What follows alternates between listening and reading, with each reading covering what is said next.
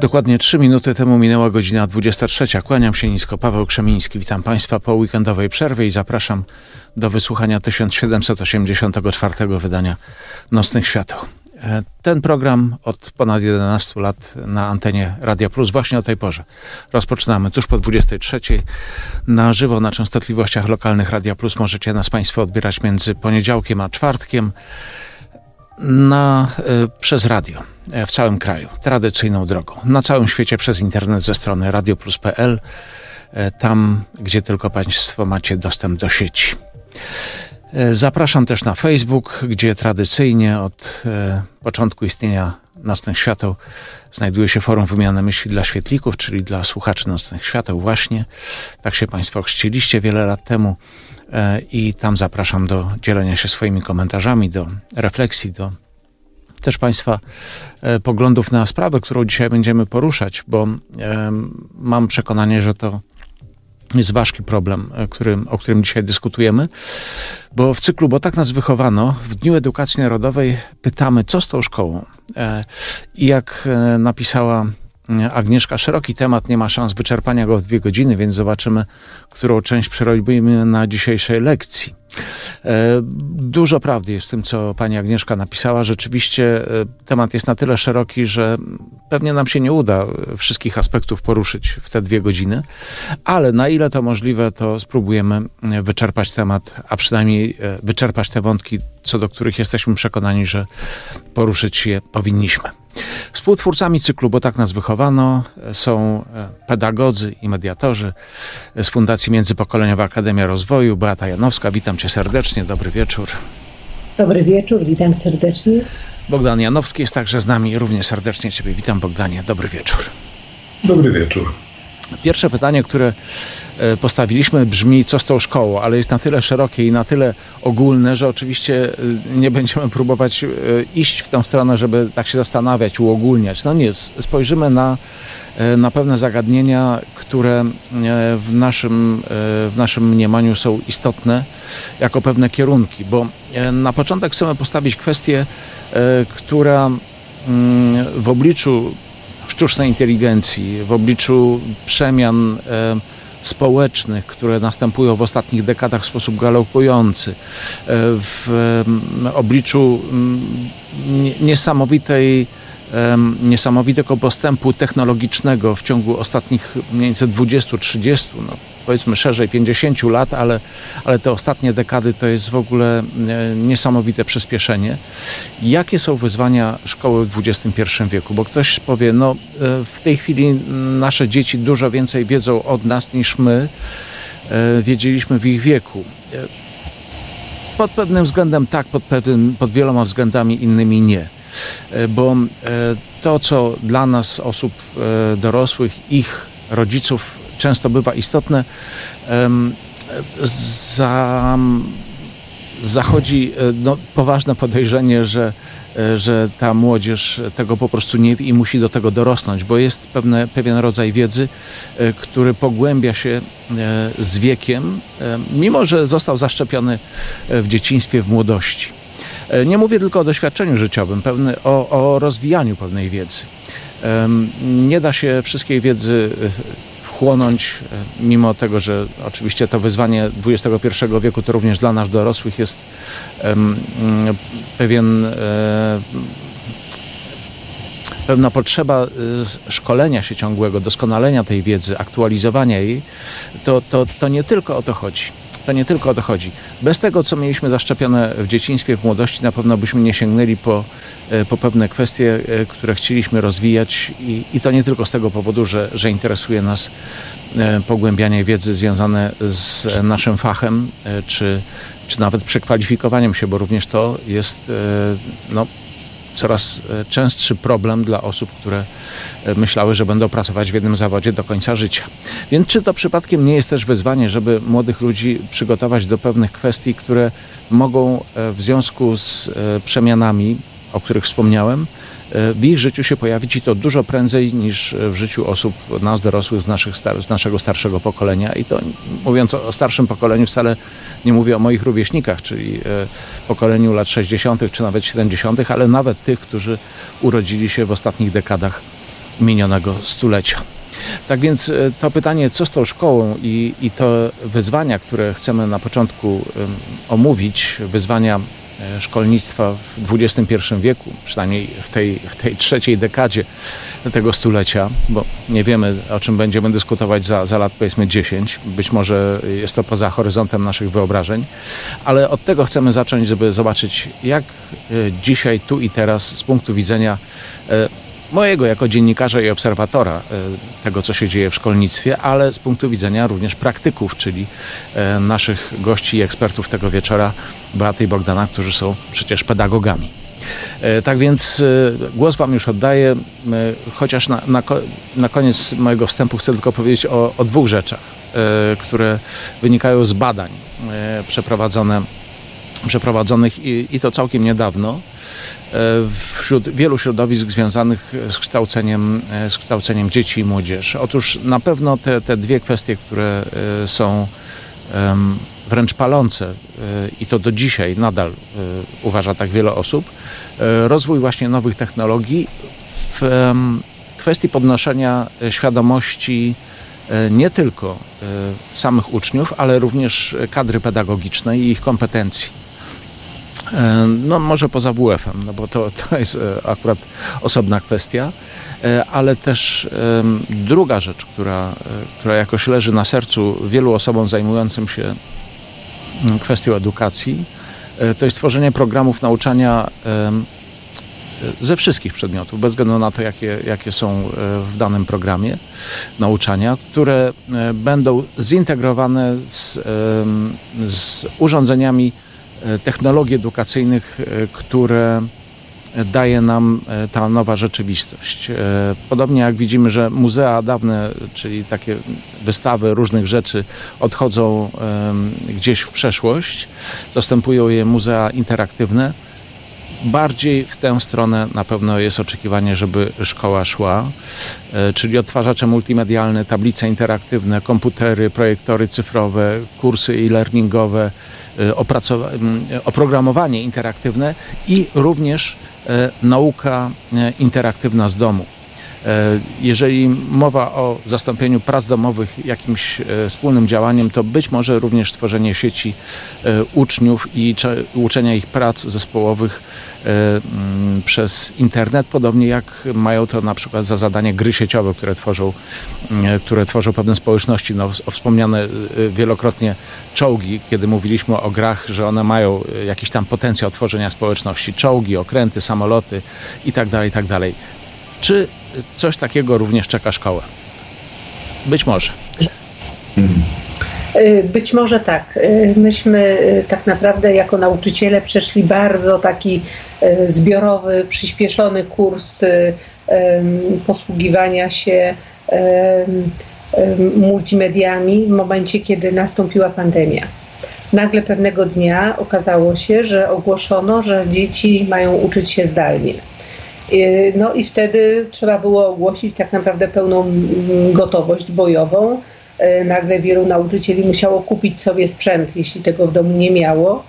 E, nagle okazało się, że musimy opanować program i no nie tylko, żeby się połączyć. Przypomnę tylko, że niektórzy internetu nie mieli w domu. Tak. Wystarczająco. Inni musieli dokupić sobie na przykład internetu, żeby mieć no taki więcej go i, i albo żeby na przykład założyć cały łącza.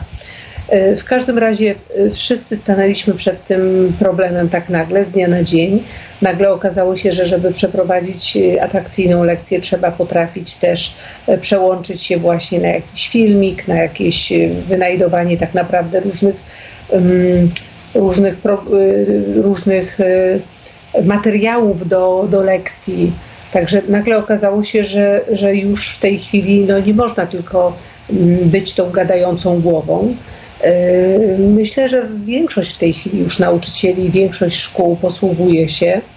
Yy, w mojej szkole tak jest, że mamy tablice yy, multimedialne i na przykład lekcja etyki wygląda tak, którą ja prowadzę, że po prostu oglądamy różnego rodzaju filmiki, że my je później sobie komentujemy, że gdzieś to nie jest tylko tak, że ten nauczyciel, już dzisiaj nauczyciel, który mówi przez 45 minut, ma problem z tym, żeby skupić uwagę uczniów. Poza tym bardzo dobrze jest na przykład, kiedy e, załóżmy jest to lekcja historii, żeby teraz te postacie historyczne pokazać, że jeżeli są dostępne jakieś e, filmy, jakieś fragmenty, e, czy na przykład bitwa pod Grunwaldem, żeby pokazać, jak ona tam wyglądała, filmowo oczywiście, no bo przecież w inny sposób nie mamy żadnych innych dokumentów, to jest dużo ciekawsze dla dzieci. Zdecydowanie. E, Paweł, kiedy powiedziałeś o tym, że nasze dzieci wiedzą dużo więcej, to ja myślę sobie, że to jest takie, takie ogólne wrażenie, które często na starszych osobach robi to, że te dzieci tak świetnie radzą sobie na przykład z komputerem, z telefonem. Małe dziecko bierze telefon i intuicyjnie potrafi podróżować tam, potrafi wciskać, potrafi wyjść, potrafi wejść, potrafi coś znaleźć. Natomiast y, ja widzę, że dzieci mają dużo mniej takiej wiedzy ogólnej. E, na przykład to, co bardzo martwi, to to, że dzieci nie znają znaczenia słów, które dla nas były oczywiste. E, myśmy posługiwali się dużo bogatszym językiem. Dzisiaj następuje du duże zubożenie języka. Dzieci mówią między sobą, językiem bardzo prostym, e, a jednocześnie to widać szczególnie na języku polskim, że one po prostu wielu znaczeń słów, które dla nas były oczywiste, nie rozumieją. No bo zamiast książek czytają SMS-y, tak? Również, tak, tak. I Nada, tutaj... pa, he, mm -hmm, cześć. Tak tu jest taki problem tak naprawdę, że gdzieś y, my musimy też nadrabiać taką wiedzę ogólną, bo oprócz tego, że my jesteśmy, mamy być y, społeczeństwem, które ma zmierzać i musi zmierzać do rozwoju technologicznego, bo taki jest świat, y, to my również musimy być społeczeństwem, które też zna literaturę, historię, społeczeństwem, które orientuje się nie tylko w najnowszych osiągnięciach i zdobyczach y, technologicznych, ale również musi mieć taką, takie wykształcenie ogólne, wykształcenie inteligentnego człowieka. Również właśnie dla mnie trudne jest to i ja myślę sobie, że bardzo ważne jest to, żebyśmy zawalczyli właśnie o ten język ojczysty, o to, żebyśmy my mówili ładnie w języku polskim. I teraz wracając do y, wyzwań XXI wieku, y, najtrudniejsze jest to, że tak naprawdę my do końca nie wiemy, jakie są te wyzwania. Y, że w tej chwili ta rzeczywistość zmienia się tak szybko, że właściwie na dobrą sprawę nikt do końca, nawet futuryści, nie są w stanie przewidzieć, jak ta rzeczywistość będzie wyglądała za 20 lat, za 50 lat, za 100 lat. Oczywiście, że mamy gdzieś jakieś swoje pomysły, ale dobrze jest też zobaczyć sobie jakieś filmy, na przykład science fiction z lat 60., gdzie y, przewidywano tak naprawdę mm, różne rozwiązania i, i różną przyszłość. No i okazuje się, że niektóre rzeczywiście rzeczy sprawdziły się, ale no, z niektórych możemy się tak naprawdę tylko pośmiać. E, gdzieś dzisiaj dopiero zyskujemy taką większą świadomość tego, że na przykład te podróże międzygwiezdne, to właściwie one mogą być nigdy niemożliwe w gruncie rzeczy, e, a tak naprawdę eksplorowanie wszechświata jest, e, czy nawet naszego układu słonecznego, dużo e, trudniejsze niż wydawało się twórcom filmów z lat 60. XX wieku. I tak naprawdę gdzieś myślę sobie, że tą sytuację taką, takiej niestabilności i tego, że my nie wiemy, co się stanie, do jakiego świata będziemy musieli się dostosować, wychowywać dzieci, to pokazały nam ostatnie wydarzenia ostatnich lat. E, myślę sobie, że gdyby ktoś powiedział mi jeszcze 5 lat temu czy 10 lat temu, e, że będzie COVID, e, że będzie taka sytuacja, że nagle zamkną nas w domach, że miasta będą wyludnione. Kiedy oglądam teledysk z piosenki Mori y, Dawida Podsiadłego, to robi to na mnie ogromne wrażenie, bo y, no, my mamy taką pamięć trochę złotej rybki, zapominamy o tym, co było, ale rzeczywiście to jest przerażające. Wielkie miasto Warszawa zupełnie puste. Ten strach, który na nas padł, to było coś tak, tak niezwykłego, tak naprawdę surrealistycznego, można by powiedzieć. To, że za naszymi granicami naszego kraju, tuż przy granicy, wybuchnie pełnoskalowa wojna w Europie. Owszem, były wojny na Bałkanach, prawda, ale one były gdzieś tak no, dalej od nas. E, a tutaj no, to rzeczywiście to, to jest też, to robi ogromne wrażenie i to, że słyszymy, że żyjemy w świecie przedwojennym, prawda? To myślę sobie, że wszyscy gdzieś czujemy jakiś taki strach. E, również e, zmiany klimatyczne, które ewidentnie następują, możemy się spierać, z jakiego powodu one występują, ale to, że widzimy tak naprawdę, że te kataklizmy dzisiaj E, to właściwie słyszymy o nich e, stale. Słyszymy o e, powodziach, o pożarach, ciągle słyszymy, prawda? Susza, prawda? Tak. I to taka naprawdę duża susza hydrologiczna, ale za chwilę, na, za chwilę rekordowe opady i powodzie. Problem na świecie z dostępem do, do wody w bardzo wielu obszarach. To pustynnienie tak naprawdę wielu obszarów. I no, to się dzieje zaczynają się różnego rodzaju niepokoje. Ale również myślę sobie, że jeżeli mówimy o wyzwaniach XXI wieku, to mówimy o tym, co, o czym już mówiłeś, Pawle, e, o tych zawodach, których jeszcze nie znamy, o tym, że już dzisiaj nie mamy takiej stabilności, że wykształcimy się i będziemy pracować jak nasi rodzice w jednym zawodzie od y, ukończenia szkoły aż po emeryturę. Dzisiaj tak naprawdę ludzie, y, nie tylko młodzi, ale również ludzie w, już y, wieku nawet przedemerytalnym stają przed sytuacją, kiedy nagle na przykład muszą się przekwalifikować. To jest trudne. Tak naprawdę w dzisiejszym świecie pewna jest tylko zmiana. Pewne jest tylko to, że jest niepewnie. I to też jest coś, co wpływa na, nasz, na nasze samopoczucie, na nasz system nerwowy, nie jest to optymistyczne, co, co słyszymy, ale rzeczywiście mówi bardzo dużo o wyzwaniach, które stoją przed szkolnictwem, bo co innego rzeczywiście zdawać sobie sprawę z tej rzeczywistości, a co innego zastanawiać się, jakie będą jej konsekwencje, a mogą być absolutnie nieprzewidywalne.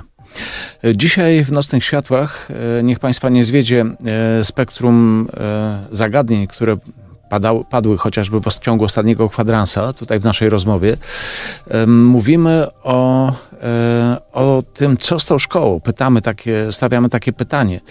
Zastanawialiśmy się przez pierwsze paręnaście minut o tym, jakie są wyzwania szkolnictwa XXI wieku, a to wszystko z okazji Dnia Edukacji Narodowej w ramach cyklu Bo tak nas wychowano, którego gośćmi są Beata i Bogdan Janowscy, pedagodzy i mediatorzy. Wracamy do Państwa za chwilkę. Dzisiaj w tytule programu postawiliśmy pytanie, co tą szkołą, a to z okazji Dnia Edukacji Narodowej w cyklu, bo tak nas wychowano. Dzisiaj mierzymy się z tym, jak właściwie ta szkoła powinna wyglądać w XXI wieku i temu poświęciliśmy pierwsze minuty dzisiejszego wydania Nocnych Świateł. Jakie największe wyzwania edukacji dostrzegają e, nauczyciele, pedagodzy, mm, e, socjolodzy, e, którzy zostali zapytani o to, jak powinna wyglądać edukacja w naszych czasach.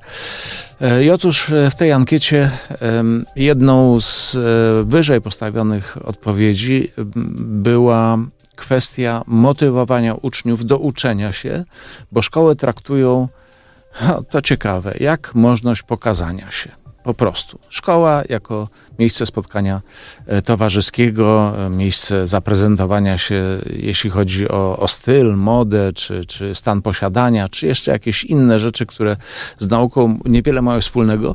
I w gruncie rzeczy, jeżeli by patrzeć na szkołę jako miejsce również socjalizacji, no to pewnie by to jakoś było do przyjęcia. Gdyby nie to, że z badań wynika, iż ta kwestia, no, nazwijmy to pokazania się, jest dużo bardziej istotna od e, potrzeby i chęci, i chęci do, do nauki.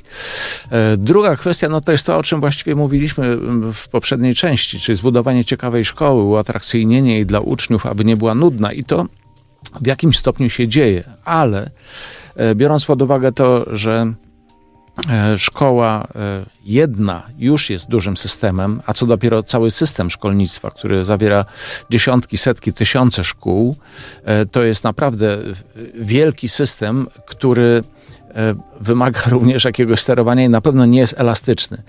Prędzej w małej skali można zbudować jakieś ciekawe, mm, ciekawe przestrzenie, które dla uczniów będą istotne i oczywiście kadry, która będzie umiała to wykorzystać i tak jak tutaj Beata na to zwróciłaś uwagę parę minut temu, E, będzie skłonna do tego, żeby szybko wdrożyć się w te nowe technologie, ale również sposoby komunikacji, które z tego wynikają, które będą ciekawe, atrakcyjne e, dla młodzieży, czyli również, uwaga, co istotne, walczyć ze swoimi nawykami i również być może utrwalonymi przekonaniami co do sposobu przekazywania wiedzy i sposobu nauczania, szerzej mówiąc. Mhm. Zgadzam się, Paweł. To znaczy, Y, dobrze jest, kiedy nauczyciel jest osobą, która stara się zrozumieć swoich uczniów, y, nie tylko y, myśleć o nich krytycznie, nie tylko, tylko myśleć o tym, że, że jest w tym coś, czego ja nie rozumiem i co jest dla mnie bardzo trudne i, i ja sobie życzę teraz, żeby oni byli inni, bo kijem Wisły się nie zawróci. Oni są już inaczej, mm, inaczej uformowani, zresztą tak jak każde pokolenie. Zresztą jak y, weźmiemy sobie, jest taki stary serial z lat 60. Wojna domowa, to y, zobaczymy sobie, że tak naprawdę narzekanie na młode pokolenie jest tak naprawdę y, no, utrwalone w naszym społeczeństwie. Zawsze gdzieś ci młodzi są nie, nie tacy jak należy. Prawdą też jest, że w ogóle mm, obserwuję to, że często dzieci kontestują to, że nie chcą się czegoś uczyć, bo to im się nigdy nie przyda, na przykład. Y, I y, jakby nie widzą często związków takich przyczynowo-skutkowych, że może warto się czegoś dowiedzieć po to, żeby wiedzieć, bo nie wiem nigdy, czy mi się to do czegoś przyda, czy mi się do czegoś nie przyda. W kontekście tego, kiedy mówiliśmy o tym, że właściwie nie wiadomo, jaki będą wykonywali zawód i ile razy jeszcze zawód będą musieli zmienić, to te różne wiadomości są dla nich bardzo ważne. E, ale również bardzo ważna jest w ogóle nauka, dlatego że umysł człowieka młodego jest w przebudowie e, i bardzo ważne jest to, żeby on e, ćwiczył te procesy myślowe, po to, żeby być człowiekiem, który będzie zdolny w dorosłości do myślenia. Bo nawet jeżeli on pewne treści zapomni, to samo uczenie się jest bardzo ważne. E, bardzo ważne jest też to, żeby uczyć dzieci w taki sposób, żeby one rozumiały właśnie te związki przyczynowo-skutkowe, żeby rozumiały, mm, dlaczego e, jakieś zjawisko ma miejsce, żeby je zaciekawić. E, to też jest problem tak naprawdę nie tylko nauczycieli, ale często właśnie programów, e, często materiałów różnych pomocniczych, e, podręczników. Nie wiem, czy pamiętacie, że na przykład wielu przedmiotów uczyliśmy się tak po kawałku. Na przykład uczyliśmy się tak po kawałku historii, skacząc z tematu na temat i czasami zupełnie nie widzieliśmy takiego związku przyczynowo-skutkowego, dlaczego na przykład coś się wydarzyło. E, bo y, to jest bardzo ważne, bo historia jest tak naprawdę nauczycielką życia. Jeżeli będziemy rozumieli pewne procesy, to możemy je również przełożyć na to, co się dzieje dzisiaj, w dzisiejszym świecie. I podobnie na przykład, jeżeli chodzi o naukę przyrody y, czy biologii jeżeli my zrozumiemy tak naprawdę, jak działają te ekosystemy, że one tak naprawdę, y, że, że jedne, że jedne y, y, zwierzęta, rośliny mają wpływ na inne. I tutaj myślę sobie, że o to chodzi, że gdzieś mm, czasami ta wiedza jest po prostu fragmentaryczna.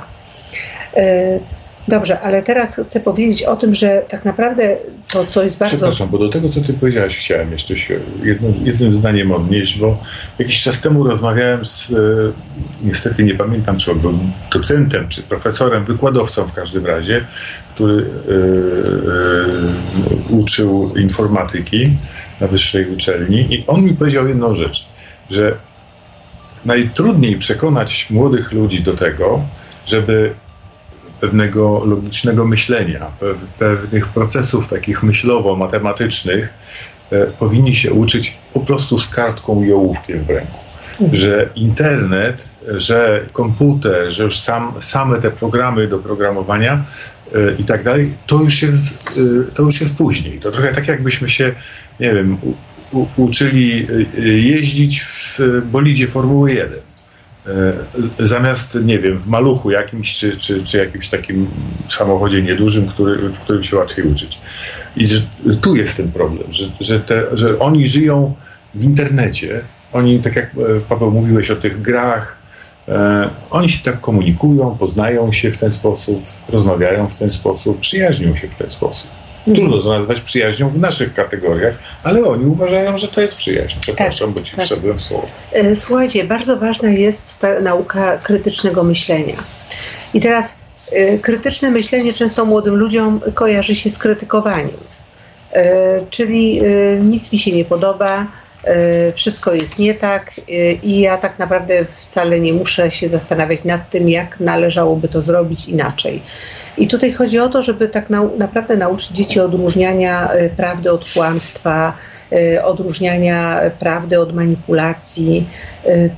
Dzisiejszy świat, w którym oni są zanurzeni, jest pełen różnych informacji, które one, oni muszą nauczyć się E, selekcjonować. Oni muszą nauczyć się sprawdzać, muszą mieć zwyczaj poszukiwania prawdy. E, I w wielu źródłach, ale również muszą wiedzieć, które źródła są sprawdzone, które są pewne, które są godne zaufania. Tak naprawdę to jest coś, co my wszyscy musimy e, odrobić tą lekcję, bo chociaż już nie chodzimy do szkoły jako społeczeństwo dorosłe, to jednak my musimy się uczyć, żeby umieć żyć w tym świecie i nauka samodzielnego myślenia. Ja na przykład na moich lekcjach etyki mówię do uczniów: możesz mieć inne zdanie, ale musisz je uzasadnić. Nie możesz powiedzieć nie, bo nie. Nie zgadzam się i już. To głupie jest i koniec. Tylko musisz je uzasadnić. Y, I musisz również uczyć się wyrażać swoje zdanie w sposób akceptowalny, tak społecznie. Czyli mówię, Y, możesz powiedzieć, że masz inne zdanie, ale nie możesz powiedzieć, że ktoś mówi głupio. Czyli gdzieś ta nauka dyskusji. Dzisiaj y, w tym świecie y, internetu jest bardzo dużo hejtu. Jest bardzo dużo takich ludzi, którzy nie wyrażają swojego zdania z, z, z poszanowaniem zdania drugiego człowieka. Mało tego, oni fałszują informacje w, y, tylko po to, żeby wyrazić swoje jakieś tam niezadowolenie z czegoś. Mhm. I, I, powiem, y, ten, mm, to co, y, kiedy Beata mm, pisała, znaczy przygotowywała ten konspekt, tam był taki, takie słowo padło jak e, pseudonaukowy bełkot na mhm. przykład. Nie? I teraz w ogóle ten bełkot taki fałszywy, o którym mówisz, jest tak powszechny w, w internecie. Mnie to zaczyna drażnić, bo ja prawie codziennie czytam nekrolog jakiejś znanej osoby, tam aktora, muzyka, tam polityka czy kogoś tam. E, ten człowiek się świetnie czuje, żyje, nic mu się nie stało, ale nekrologii takich ludzi są po prostu powszechnym zjawiskiem.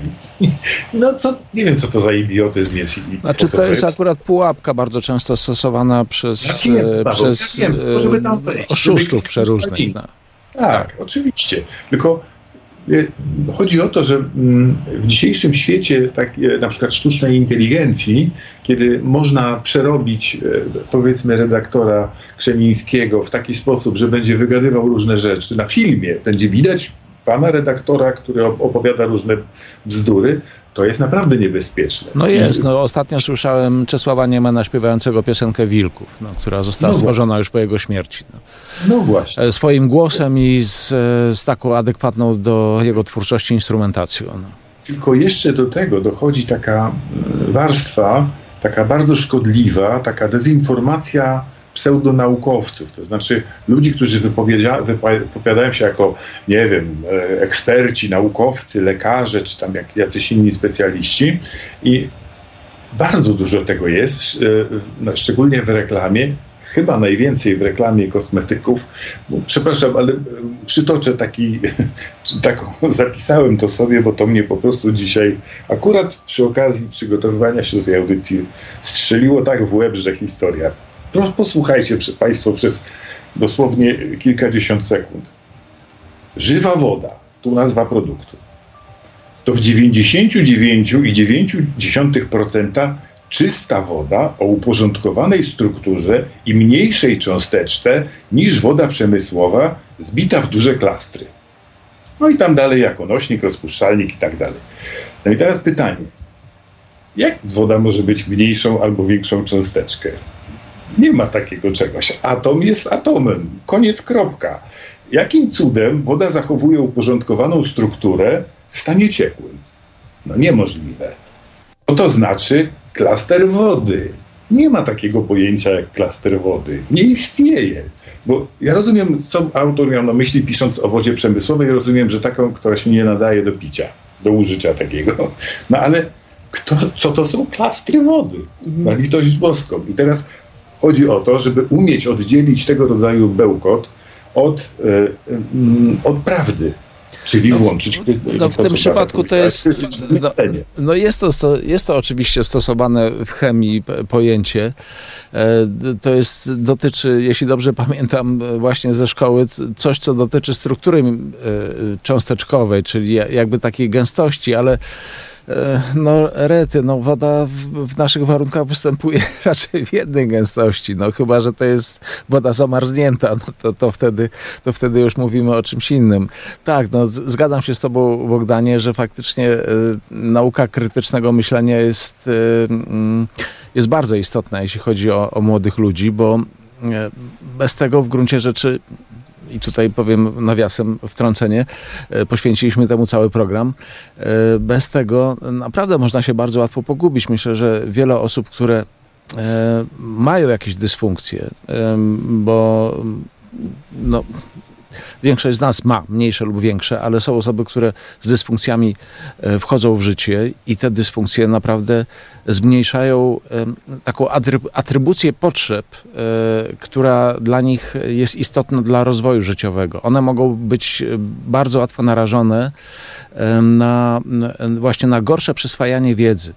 I jeżeli się ich nie nauczy krytycznego myślenia, e, to w ten sposób może się pogłębić u nich brak przystosowania społecznego i, i naprawdę marny los. Ja jestem pod wrażeniem ostatnio takiego filmu, kiedyś byliśmy dzieciakami, to jest film dokumentalny, który e, pokazuje dalsze losy e, dalsze losy e, bohaterów filmu Dzieciaki. To jest film z roku 1995. Wtedy ukazanie się tego filmu na ekranach amerykańskich i światowych, również europejskich i polskich, było szokiem. To było pokazanie młodych ludzi, skaterów, którzy poza seksem, narkotykami, piciem alkoholu, E, bójkami i, i ogólnie bezsensem życia, w którym funkcjonują, nie robią nic innego. No jeszcze ewentualnie kradzieże sklepowe. I balangi, balety i, i to wszystko. I to jest sens i cała treść ich życia. E, to są ludzie, którzy zupełnie nie byli przygotowani na to, wzięci z ulicy filmowiec, który kręcił ten film, reżyser, jego nazwiska nie wymienię tutaj, bo, bo mam jakąś złość na niego, E, wykorzystał po prostu te dzieciaki, e, zarobił 20 milionów dolarów. Film był niezwykle tani w produkcji, jak, jak na taki, taki obraz tego typu, e, przy którym zaangażować trzeba no, produkcję du dużego kalibru. Bo, bo, koszty miał żadne. No, ci młodzi ludzie dostali pieniądze po tysiąc dolarów, co dla nich była to niewyobrażalna kwota, bo oni żyli na ulicy właściwie, pochodzili z dysfunkcyjnych rodzin, niektórzy nie mieli rodziców, żyli w skłotach.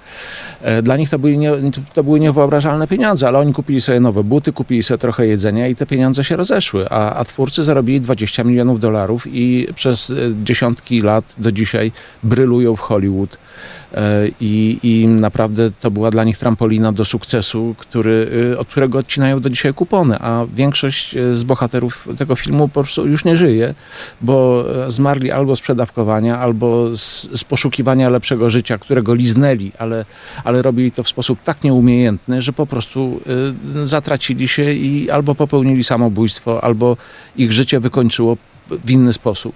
E, większość z nich e, naprawdę ma bardzo złe doświadczenia życiowe. Jeden, jedyny może jakoś dźwignął z tego i, i na, tyle, na tyle potrafił się zdystansować, że założył rodzinę, wyemigrował ze Stanów do, do Europy i, i dzisiaj z perspektywy e, odległości chociażby geograficznej patrzy na to jako wydarzenie które było bardzo niszczące. Chcę tutaj zwrócić uwagę przede wszystkim na środowisko, które nie zabezpiecza jakichś ewidentnych potrzeb, które może dać, może podkreślam, może dać szkoła, bo szkoła nie jest od tego, żeby wychowywać, ale żeby pomóc rodzicom, mhm. dać, dać wiedzę. Zgadzam się z Tobą, y, ale też chcę zwrócić uwagę na taki paradoks tego, że żyjemy w świecie y, dobrobytu w porównaniu z tym, jak żyli nasi y, przodkowie, można by powiedzieć, a jednocześnie poczucie braku sensu jest tak duże jak nigdy. Że, że już dzieci zaczynają mówić, to jest bez sensu, to nie ma, to nie ma sensu, po co to robić. I wielu dorosłych również to powtarza i to jest, to jest dla mnie przerażające. Ale wiesz, tutaj akurat y, podejmę rękawicę i, i powiem ci, że, że jak pamiętam e, moją młodość, to, to takie sformułowanie, że coś jest bez sensu było dyżurnym tekstem dyżurnym tak, tekstem i, i nie, nie, nie, przypuszczam, żeby to się zmieniło akurat w, w kolejnych pokoleniach, bo te, jeżeli młodzi ludzie czegoś nie rozumieją, to po prostu mówią, że to jest bez sensu. Albo jeżeli coś kontestują i e, to przerasta ich, że tak powiem, sposób pojmowania, czy, czy chęć wejścia w ogóle w, w taką logikę, bądź w dyskusję, no to jest bez sensu. To, to jest słowo wytrych, zwrot, który pozwala wymiksować się z jakiejś sytuacji, która jest niewygodna dla, dla młodego człowieka. Więc ja bym tutaj wyraźnie wyraźną granicę postawił między e, sformułowaniem, że coś jest bez sensu, e, jako, e, jako próby odcięcia się od jakiejś rzeczywistości, do której, w której nie chce się funkcjonować, do faktycznego poczucia bezsensu, która jest naprawdę groźna i mająca, może, mogąca mieć skutek, skutek śmiertelny. No właśnie, i ten kryzys psychiczny i to poczucie bezsensu jest jednak taką emocją bardzo narastającą w społeczeństwie. Dobrze, ale chciałabym jeszcze powiedzieć o, tym, o tej nauce krytycznego myślenia, jak to robić w praktyce. E, I teraz tak, żeby uczyć dzieci krytycznego myślenia, musimy po prostu z nimi rozmawiać. I to jest e, no, taki truizm, ale, ale nie ma innego wyjścia, to my możemy je tylko nauczyć tego. Y, krytycznego myślenia i pytać się, nie, nie dawać im gotowych rozwiązań, pytać jak ty myślisz, y, a jak myślisz, gdzie możesz poszukać odpowiedzi na to pytanie? A jak myślisz, y, czy to będzie dobre rozwiązanie? A jeżeli tak zrobimy, jeżeli tak zrobisz, to jakie będą tego skutki? A czy można zrobić to jakoś inaczej? A co można by zrobić i co byłoby potrzebne, żeby zrobić to inaczej? Bardzo ważne jest to, żeby uruchomić dzieci. My zbyt często dajemy im na tacy gotowe rozwiązania e, i e, albo je przyjmują dzieci, albo nie. Po pierwsze, jeżeli e, to są takie gotowe rozwiązania, to dzieci często je kontestują i tak jak mówiłeś, Pawle, mówią na przykład, to jest bez sensu. A po drugie, jeżeli one będą mogły same coś wymyśleć, to jednak jeżeli człowiek coś y, sam wymyśli, jeżeli sam co, o czymś zdecyduje, to bierze za to odpowiedzialność i to jest, to jest bardzo ważne. Mm, ale również my musimy jako dorośli, mm, rodzice, nauczyciele, przyznawać się, że czegoś nie wiemy, albo że na przykład nie jesteśmy czegoś pewni. Y, I poszuk- takie pokazanie dzieciom, że poszukiwanie odpowiedzi jest naturalne, na, na, na, różne, na każde pytanie, że upewnianie się jest rzeczą naturalną, jest bardzo ważne. Dlatego, że e, często jest tak, że my wstydzimy się nie wiedzieć. I jak nie wiemy, to mówimy jakieś głupoty po prostu. Że przyznanie się do błędu jest, jest bardzo ważne. I y, powiedzenie dziecku tak naprawdę, że, że nie, nie, nie, nie, tutaj to jednak się pomyliłam. Y, I y, no, skorygowanie tego błędu, pokazanie, że można zrobić inaczej, że można, mm, że to mi nie, nie, nie, nie ubliża jakoś, że mi to nie, nie, nie przynosi ujmy, bo ten się nie myli, kto nic nie robi, bo y, nie, jest, nie jesteśmy w stanie zawsze być bezbłędni i, i nie popełnić błędów. Również rodzic, również nauczyciel. Chcę powiedzieć tylko jedno zdanie do, do tego, co powiedziałaś, że być może to jest to, co powiedziałaś, jest mm, takim wstępem do tego, żeby do programu szkół wprowadzić trzy sita Sokratesa. Żeby te, to jest można to uczyć od, właściwie od pierwszej klasy do, do samego końca studiów, bo e, samo myślenie na ten temat się zmienia w sensie rozwijania się, tak? czego to dotyczy i, i co w to wchodzi, przepraszam. Tak. Mhm. No, już do szkoły. Ja myślę do, do też... głowy, że to, że to się nadaje do szkoły. Mhm. Krótką przerwę zrobimy. E, dzisiaj w Dniu Edukacji Narodowej w cyklu Bo tak nas wychowano rozmawiamy w Nocnych Światłach o tym, co z tą szkołą. Jak Państwo słyszą, e, temat jest nośny społecznie, bo mm, no, szkoła tak naprawdę przyjmuje wszystkich, którzy wchodzą w życie ze świata, który nieustannie się zmienia. Zmienia się w sposób galopujący. Stąd też ta rozmowa dzisiejsza jest wielowątkowa i dotyczy nie tylko stricte systemu szkolenia, ale również przyjrzenia się temu, mm, jak my, ludzie, e, funkcjonujemy w ogóle w życiu.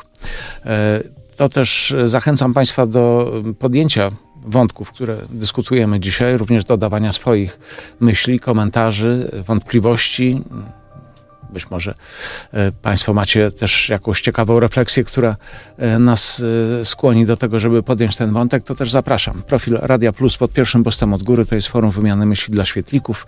Wracamy po krótkiej piosence na ciąg dalszej dyskusji. Dzisiaj Beata i Bogdan Janowcy, nasi goście, eksperci, pedagodzy i mediatorzy z Fundacji Międzypokoleniowa Akademia Rozwoju są w studiu Nocnych Świateł.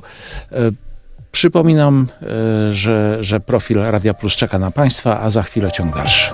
Co z tą szkołą? Takie pytanie dzisiaj postawiliśmy w tytule kolejnego z wydań Nocnych Świateł w ramach cyklu, bo tak nas wychowano w Dniu Edukacji Narodowej. Właśnie o tym rozmawiamy, o tym szerokim spektrum zagadnień, które szkolnictwa dotyczą, szkolnictwa, młodzieży, nauczycieli e, i nas, ich rodziców, e, którzy dzisiaj się przyglądamy temu, i najczęściej mamy um, krytyczne uwagi do tego, jak ta szkoła powinna wyglądać. Ale e, czy rzeczywiście mamy jakiś pomysł na to, żeby tę szkołę zreformować i e, również mieć na to mm, fundusze i cały strukturalny, powiedziałbym, e, sensownie zagospodarowany plan działania, który od strony zarówno finansowej, jak i, e, jak i wykonawczej będzie, będzie rozpisany. E, dlaczego o tym mówię? Bo patrzę na, e, na orliki, które no, z wielkim przytupem ileś tam lat temu zostały realizowane. E, I owszem, one przez długie lata spełniały sobie swoje zadanie, natomiast teraz dosłownie serce mi się kraje, jak widzę te orliki, których w okolicy mam parę, jak spora część z nich niszczeje, bo, bo nie ma pomysłu na to, jak dalej e, je remontować, jak je konserwować, skąd wziąć pieniądze. Owszem, plan był i w dużej mierze e, uważam, że był to plan polityczny, e, a nie tylko taki, który, e, który miał za zadanie e, stricte, tylko i wyłącznie dobro, dobro czyli rozwijanie kultury fizycznej młodzieży. Z wieloma rzeczami tak jest. Szkoła też jest elementem przetargów politycznych i widzimy to doskonale od wielu już lat. Tak więc nie jest wolna od pewnego obciążenia, które e, bywa e, kartą przetargową e, i z pełnym przekonaniem mówię te słowa, że szkoła tylko i wyłącznie na tym traci. Bo wiele obietnic, na które, których realizacja jest oczekiwana, niespełnianych powoduje to, że szkoła się w jakiś sposób zatrzymuje w rozwoju, bo czeka na to, co nie przychodzi. Więc już to generuje jakieś zapóźnienia. Oczywiście nie mówię, że, że ze wszystkim tak się dzieje. Są, są jakieś programy, które się realizują, e, to, to prawda, ale pamiętam przez długie lata mielące się sprawy właśnie dotyczące e, komputeryzacji szkół. E, to była rzecz, która przez wiele lat e, spowodowała opóźnienia. E, stąd też e, z jednej strony przyglądamy się młodym ludziom i, i zastanawiamy się, jak ich uczyć, czego ich uczyć, czy uczyć ich krytycznego myślenia i oczywiście to, to jest bardzo istotne. Ale jeżeli nie będziemy mieli narzędzi, ja wracam do tego jak, jak do mantry, które będą w jakiś sposób pomagały tego uczenia, uczenia nabywania wiedzy, i przekazywania jej w sposób taki, który jest adekwatny do kultury społecznej i technologicznej naszych czasów, no to nie będzie tej chęci uczenia się. Bo e, to, o czym Beato mówiłaś, czyli nauka krytycznego myślenia, czyli y, uczenie odpowiedzialności za siebie, za grupę, za społeczność, za ojczyznę, o czym chcemy teraz porozmawiać, to, to jest rzecz, która może się wydawać wielu młodym ludziom drugoplanowa wobec tego, w jaki sposób im się to przekazuje. Można ich zainteresować tym, jeżeli coś pobudzi ich emocje, które są przyzwyczajone do teledyskowej formuły przekazu treści. Takich, które działają na emocje w sposób silny, punktowy, jeżeli to będzie coś rozwlekłego, coś, co nie, nie będzie miało odpowiedniego montażu, odpowiedniego kolorowania, od, odpowiedniej oprawy, odpowiedniej muzyki, to może po prostu przemknąć i być straconym, e, straconym działaniem, wyrzuconymi pieniędzmi. Tak więc to jest jeszcze pewien, pewien e, powiedziałem, socjologiczny e, problem, który polega w tym momencie na tym, żeby stworzyć taką formułę przekazu, która będzie jeszcze odpowiednia en masse do, dla młodych ludzi. I zawsze mhm. jest niebezpieczeństwo, że jest jakaś grupa, dla której, dla której to będzie po prostu przekaz nieodpowiedni. Mhm. Czy, yy, Pawle, odniosę się do te, te, tej szkoły, która stale gdzieś yy, ma. Znaczy, my mamy, powiem tak, ciągle mamy w szkole nieustającą rewolucję. Powiem. I tak naprawdę szkoła życzy sobie y, pewnej stałości, takich planów y, y, ponad podziałami. Chodzi o to, że, że, mm, że tutaj ona musi być mm, ona musi być jakoś wyłączona z, z bieżącej, z bieżącej tak, polityki na mhm. przykład, tak? Czyli chodzi o to, że tak naprawdę wychowanie człowieka to jest proces wieloletni. Niezależny od tego, kto no, Ale tak. to, to, to, szkoła, szkolnictwo musiałoby być wyłącznie prywatne, gdyby zosta- jeśli miałoby być wyłączone z polityki. Wiesz co, Pawle, ja myślę sobie o tym, że, że wystarczyłoby, żeby pewne zmiany odbywały się w konsultacjach e, takich społecznych, które byłyby z nauczycielami, psychologami, socjologami, e, naukowcami, również z ludźmi, którzy znają się na najnowszych technologiach, ale, ale również, trwać, ale również tak? rodzicami. Czyli tak naprawdę gdzieś to musi być wyznaczony jakiś kierunek, ale również, tak jak powiedziałeś o tych orlikach, które nie tylko trzeba wybudować, ale również y, wdrożyć remonty, musi być jakiś plan. Tak samo ta szkoła to musi być y, też jakiś proces, to musi być ciągle jakaś namysł, aktualizacja, prawda? Kiedy mówimy o tym zmieniającym się świecie, to po prostu to, to musi być proces. To nie można po prostu zrobić y, zmiany. Tworzymy gimnazja, zamykamy gimnazja, tak? Y, to, to, jest, to jest jakiś obłęd po prostu, bo kiedy już myśmy stworzyli sobie gdzieś jakąś ścieżkę, kiedy już szkoła wypracowała sobie jakieś sposoby, to nagle okazuje się, że y, no jak na wojnie, no, funkcjonujemy zupełnie w innych warunkach. Tak nie może być, bo to, jest, y, bo to są eksperymenty, nazwę to w cudzysłowie, na żywym organizmie. I tutaj. W cudzysłowie. No, no tak. I teraz słuchajcie, jeżeli mówimy o tej odpowiedzialności za siebie, za grupę, społeczność lokalną, za ojczyznę, e, to tak naprawdę musimy sobie uświadomić, że każda praca z młodym człowiekiem zaczyna się od pracy nad nami, nad samym sobą. Czyli tak naprawdę ja muszę być człowiekiem, który hołduje pewnym zasadom etycznym.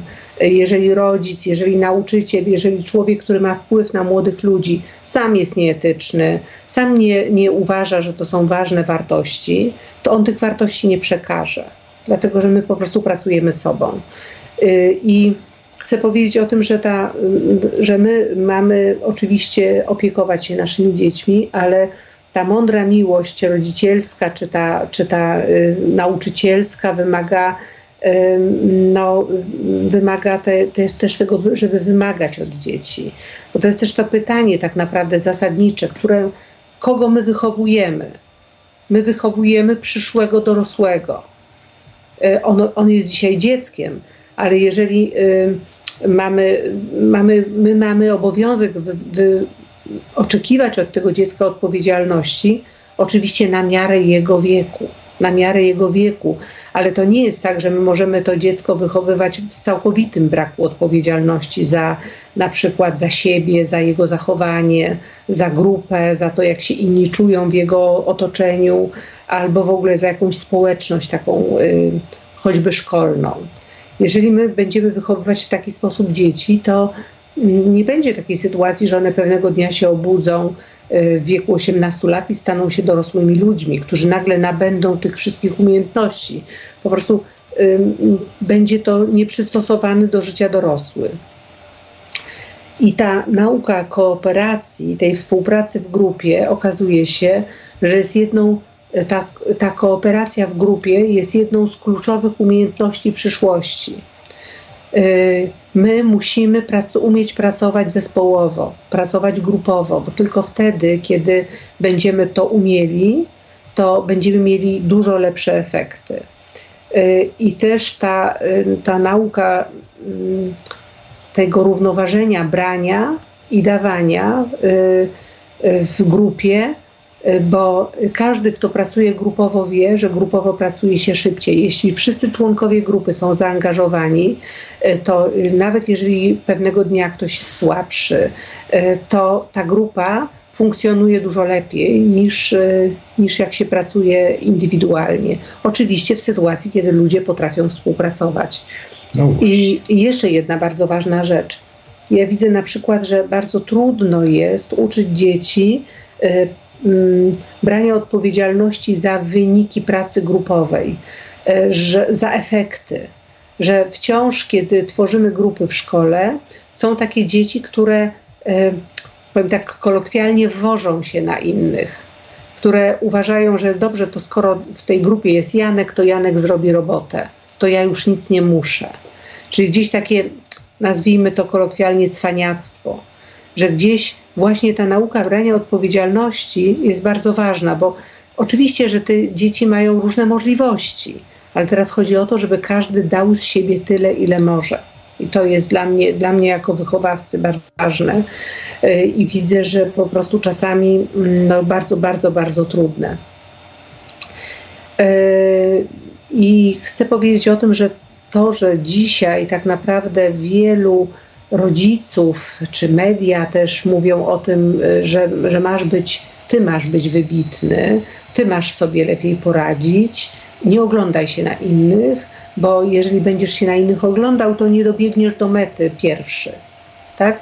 Czyli to społeczeństwo y, zaczyna wychowywać ludzi, którzy mają sami y, osiągać sukcesy Natomiast tak naprawdę jest to przepis na człowieka, który jest samotny, który nie potrafi się kontaktować z ludźmi yy, i, i naprawdę to jest bardzo ważne, żeby oczywiście yy, mieć świadomość swojej indywidualności, wyjątkowości. To jest bardzo ważne. Ale również taką wiedzę podstawową, że ty masz zrobić swoje, to do ciebie należy, ty to zrób.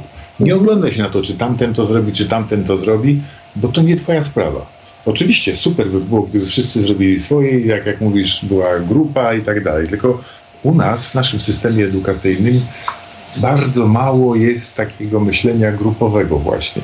Bo system amerykański szkolnictwa no, nie jest najlepszy system i wiadomo, że ma mnóstwo wad, tylko jedną zaletę ma tam wszyscy są w jakichś grupach e, naukowych, zespołach sportowych, muzycznych, e, cheerleaderki, tancerki. No, każdy do czegoś przynależy, każdy gdzieś jest i, i musi współpracować w tej grupie, żeby ta grupa osiągała jakieś tam wyniki i sukcesy. I to jest coś, czego u nas brakuje.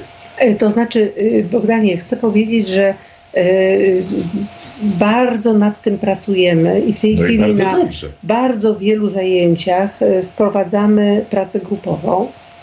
E, i bardzo staramy się tą, ten, tą, ten, ten Wisłę... No tak, no to jest też kwestia inwestycji, wiesz, pieniędzy. No, w taką drużynę, nie wiem, baseballu amerykańskiego trzeba zainwestować, kupić im stroje, wiesz, wybudować stadion. No, to, to są też inwestycje, to co Paweł mówił o Orlikach, mm -hmm. tak, że no, to jest ta inwestycja. Teraz na tych no. Orlikach powinny grać te zespoły różne. Tak? Albo Jasne, Danie, to ale... w ogóle, to jest jakby to, o czym mówisz, to jest e, zupełnie inna struktura, bo tam e, sport akademicki w Stanach Zjednoczonych to jest instytucja sama w sobie. Tak, ja nie mówię o sporcie akademickim, mówię od samego dołu, od samego spodu. Mieliśmy klientów ze Stanów Zjednoczonych, mieli troje dzieci i wszystkie, wszystkie troje dzieci były gdzieś tam zaangażowane w jakieś, no ta najmłodsza, nie pamiętam ile ona miała, z 10 lat? Uczyła się, e, e, przygotowywała się do, do, do, pracy w zespole cheerleaderek. Tak. Mhm. No, no rzeczywiście to, to, jest, to jest bardzo istotna kwestia. E, to, że... W mojej szkole też są cheerleaderki. I nie mówię, że to jest jakieś pożyteczne zajęcie bardzo, mówię o pracy w grupie. Tak, tak znaczy to jest faktycznie, to, to jest rzeczywiście zauważalna rzecz, że amerykańskie szkolnictwo, szczególnie na, na tym wyższym poziomie, stawia na, na współpracę bo um, z tym też się wiąże pewien amerykański styl życia, ale to jest, to jest osobna kwestia i myślę, że, um, że tutaj e, dotykamy zupełnie innej mentalności, wynikającej po pierwsze z historii, ale też z organizacji szkolnictwa i e, jego miejsca na mapie społecznej. E, bo no my mamy to obciążenie niestety komunistyczne, które wiele lat jeszcze po, po roku 1989 e, rezonowało w szkolnictwie i, e, i myślę, że do dzisiaj ma, ma swoją czkawkę, swoją czkawką jakoś, e, jakoś się odbija. Już nie mówiąc o tym, że ten wątek polityczny cały czas w szkolnictwie jest istotny i, mm, i z pełnym przekonaniem to mówię, jest uzależnienie szkoły, od, e, od e, środowiska elit politycznych jest naprawdę hamulcowe, ma hamulcowe działanie dla, e, dla edukacji. Mhm. Tak, ale chcę też powiedzieć, że tak bez inwestycji, że tak powiem, wprowadzamy prace grupowe na lekcjach. Y, i uczymy dzieci tego, że one mogą rzeczywiście ze sobą usiąść. Nawet dziecko, które mniej lubi drugie dziecko, może się przekonać, że ono może z nim coś zrobić. No, robimy co możemy, że tak powiem, jako szkoła. Ale też chcę powiedzieć o tym, że jako szkoła też uczymy dzieci, staramy się uczyć dzieci samorządności. Yy, czyli na przykład, czyli takiej odpowiedzialności za to środowisko lokalne na przykład samorząd szkolny albo szkolny budżet partycypacyjny, ale również zespół klasowy. W zespołach pracujemy wychowawczo w taki sposób, że staramy się zadbać, dbać o taki dobrostan wszystkich dzieci. Y, I staramy się, żeby dzieci decydowały o różnych rzeczach. Na przykład ostatnio mamy w tej chwili taki w szkole projekt Empatia, Akademia Empatii y, i dzieci y, był, rysowały logo tej ambasady empatii. Y, I y, później no, wybierały dzieci, które logo będzie najlepsze, y, które będzie na paszporcie ambasady empatii.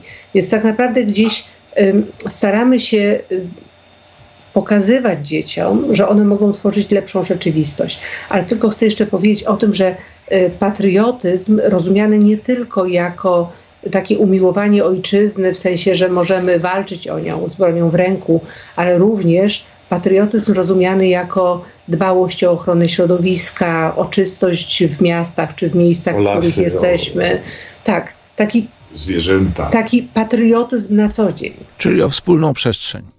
O, o, o to, co jest, co jest nasze, co tak było bardzo źle rozumiane przez te lata komuny, e, kiedy wspólne znaczyło niczyje albo państwowe w gruncie rzeczy. I jeżeli ktoś tego nie, nie szanował albo miał do tego stosunek niewłaściwy politycznie, to był za to surowo karany. No, gdzieś te wszystkie, te wszystkie wątki się splatają. W dzisiejszych czasach wydawało się dosyć już odległych od, od lat komuny, ale jednak mimo wszystko e, Pamiętajmy o tym, że jeszcze wielu nauczycieli, e, na co zwróciła się uwagę, że jeżeli samemu się e, nie prezentuje pewnej postawy, to trudno ją przekazać innym. Wielu nauczycieli jeszcze e, gdzieś być może żyje częściowo jedną nogą w tamtych czasach słusznie minionych. A my dzisiaj stawiamy w tytule programu pytanie, co z tą szkołą, to w ramach cyklu, bo tak nas wychowano, który dzisiaj e, w Dniu Edukacji Narodowej, który no właściwie już dniu po Święcie Edukacji Narodowej, bo ten dzień skończył się 7, sekund, 7 minut temu, To pytanie stawiamy razem z gośćmi programu Beata i Bogdan Janowscy są z nami. Od 10 minut mamy już wtorek, 15 października, Dzień Święto Edukacji Narodowej. 10 minut temu się zakończyło, ale my jeszcze kontynuujemy wątki, które do tego dnia przynależą, jako że w cyklu bo tak nas wychowano, stawiamy dzisiaj pytanie w tytule tego wydania programu Nocne Światła co z tą szkołą? E, Beata i Bogdan Janowscy, pedagodzy i mediatorzy z Fundacji Międzypokoleniowa Akademia Rozwoju to Państwa i moi goście tego wieczora, eksperci i współtwórcy cyklu, bo tak nas wychowano.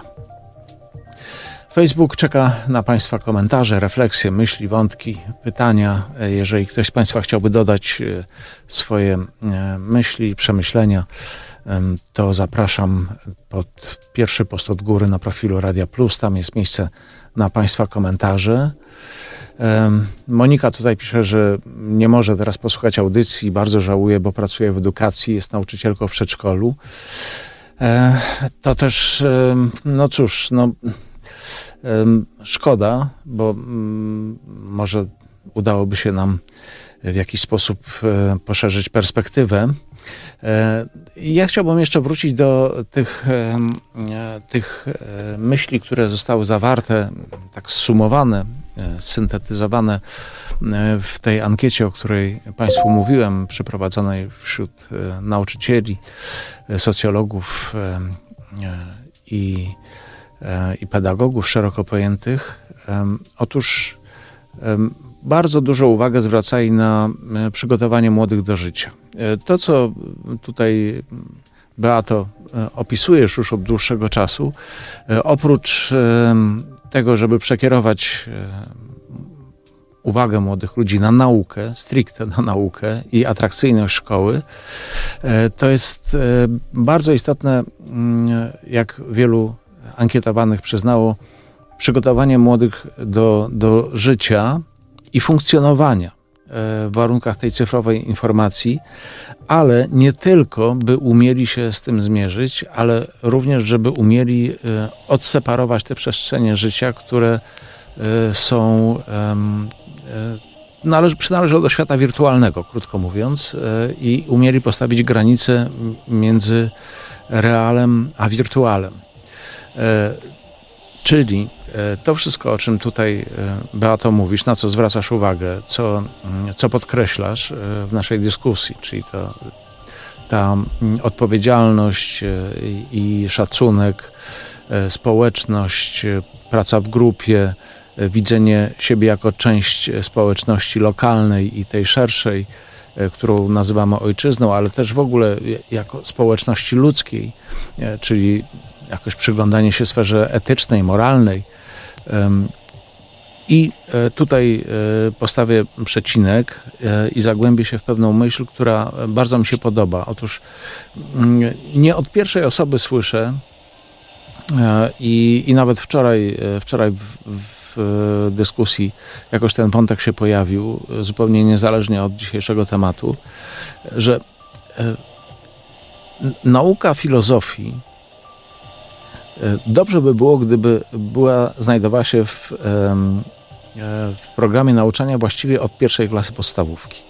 Oczywiście w sposób adekwatny do, e, do tego, jaki, jak, jak dojrzewa młody człowiek, dziecko, później, później młodzieniec, ale że filozofia powinna być nieodłącznym elementem edukacji, chociażby z tego względu, by uczyć tego, na co tutaj zwróciłaś e, Beato uwagę, czyli krytycznego myślenia, stawiania pytań, pobudzania wątpliwości po to, żeby szukać jakichś rozwiązań, e, po to, żeby stawiać e, krok tam, gdzie jeszcze stopy się nie postawiło, by zobaczyć, umieć zaryzykować, znaleźć jakąś przestrzeń, w której, w której jeszcze nikt, której nikt nie zagospodarował która może być jakimś nowym, innowacyjnym rozwiązaniem, bez względu na to, w jakiej to sferze życia będzie.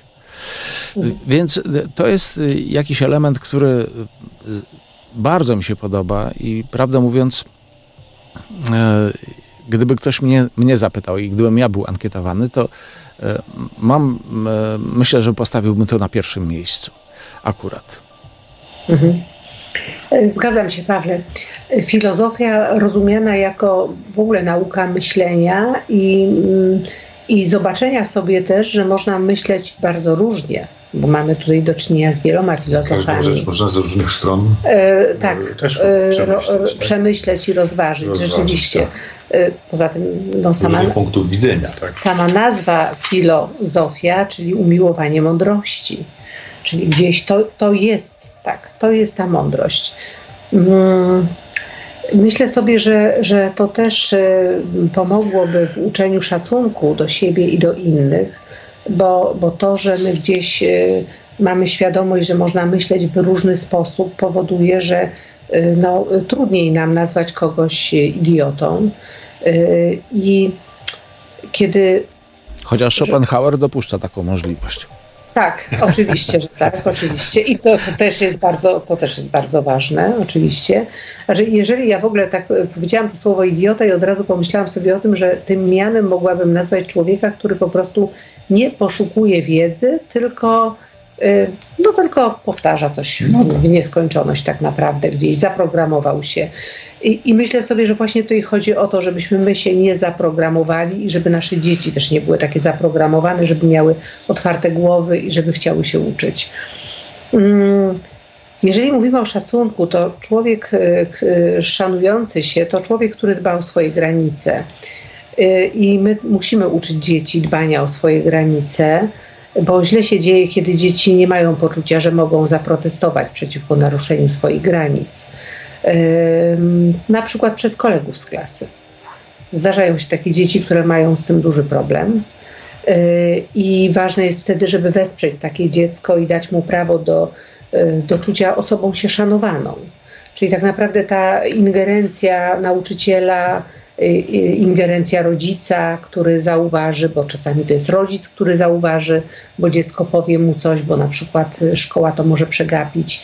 Ta współpraca jest bardzo ważna, żeby y, od razu mm, zadziałać. Chodzi o to tak naprawdę, żeby nie, nie dopuścić do sytuacji, kiedy jakieś dziecko stanie się ofiarą. I na przykład tutaj mamy takie swoje sposoby, na przykład metoda wspólnej sprawy, która polega na tym, że mm, nauczyciel bierze każde dziecko na chwilę i pyta, czy widzisz, że jest problem mm, jakiś na przykład, że y, Jaś na przykład czuje się gorzej, że jest smutny. Y, a drugie pytanie, a co mógłbyś zrobić, żeby mm, Jaś poczuł się lepiej w naszej klasie? I ja wiele razy zastosowałam tę metodę. Ona bardzo naprawdę pomaga, bo jeżeli każde dziecko z osobna Y, zobaczy sobie, że ma coś do zrobienia i wie, że jest też y, y, sytuacja, sprawa jest wykryta i wiadomo, że, że to jest i jest ktoś, kto będzie to nadzorował, to dzieci naprawdę zmieniają swoje zachowanie. I teraz chcę powiedzieć, że takie dzieci, które często doświadczyły w swoim życiu braku szacunku, albo były świadkami, że ktoś źle traktował inną osobę, często e, uczą się takich zachowań. Często gdzieś chcą je powielać, czyli to znowu jest bardzo ważne, jak my zachowujemy się, my dorośli, my rodzice, my nauczyciele. To naprawdę nie jest w oderwaniu od, e, od tego, co robią nasze dzieci, w oderwaniu od tego, co one obserwują. Czasami dzieci, które bardzo źle zachowują się w szkole i na przykład okazują brak szacunku również nauczycielom, mówią o tym, że one nie są dobrze traktowane w swoim domu rodzinnym.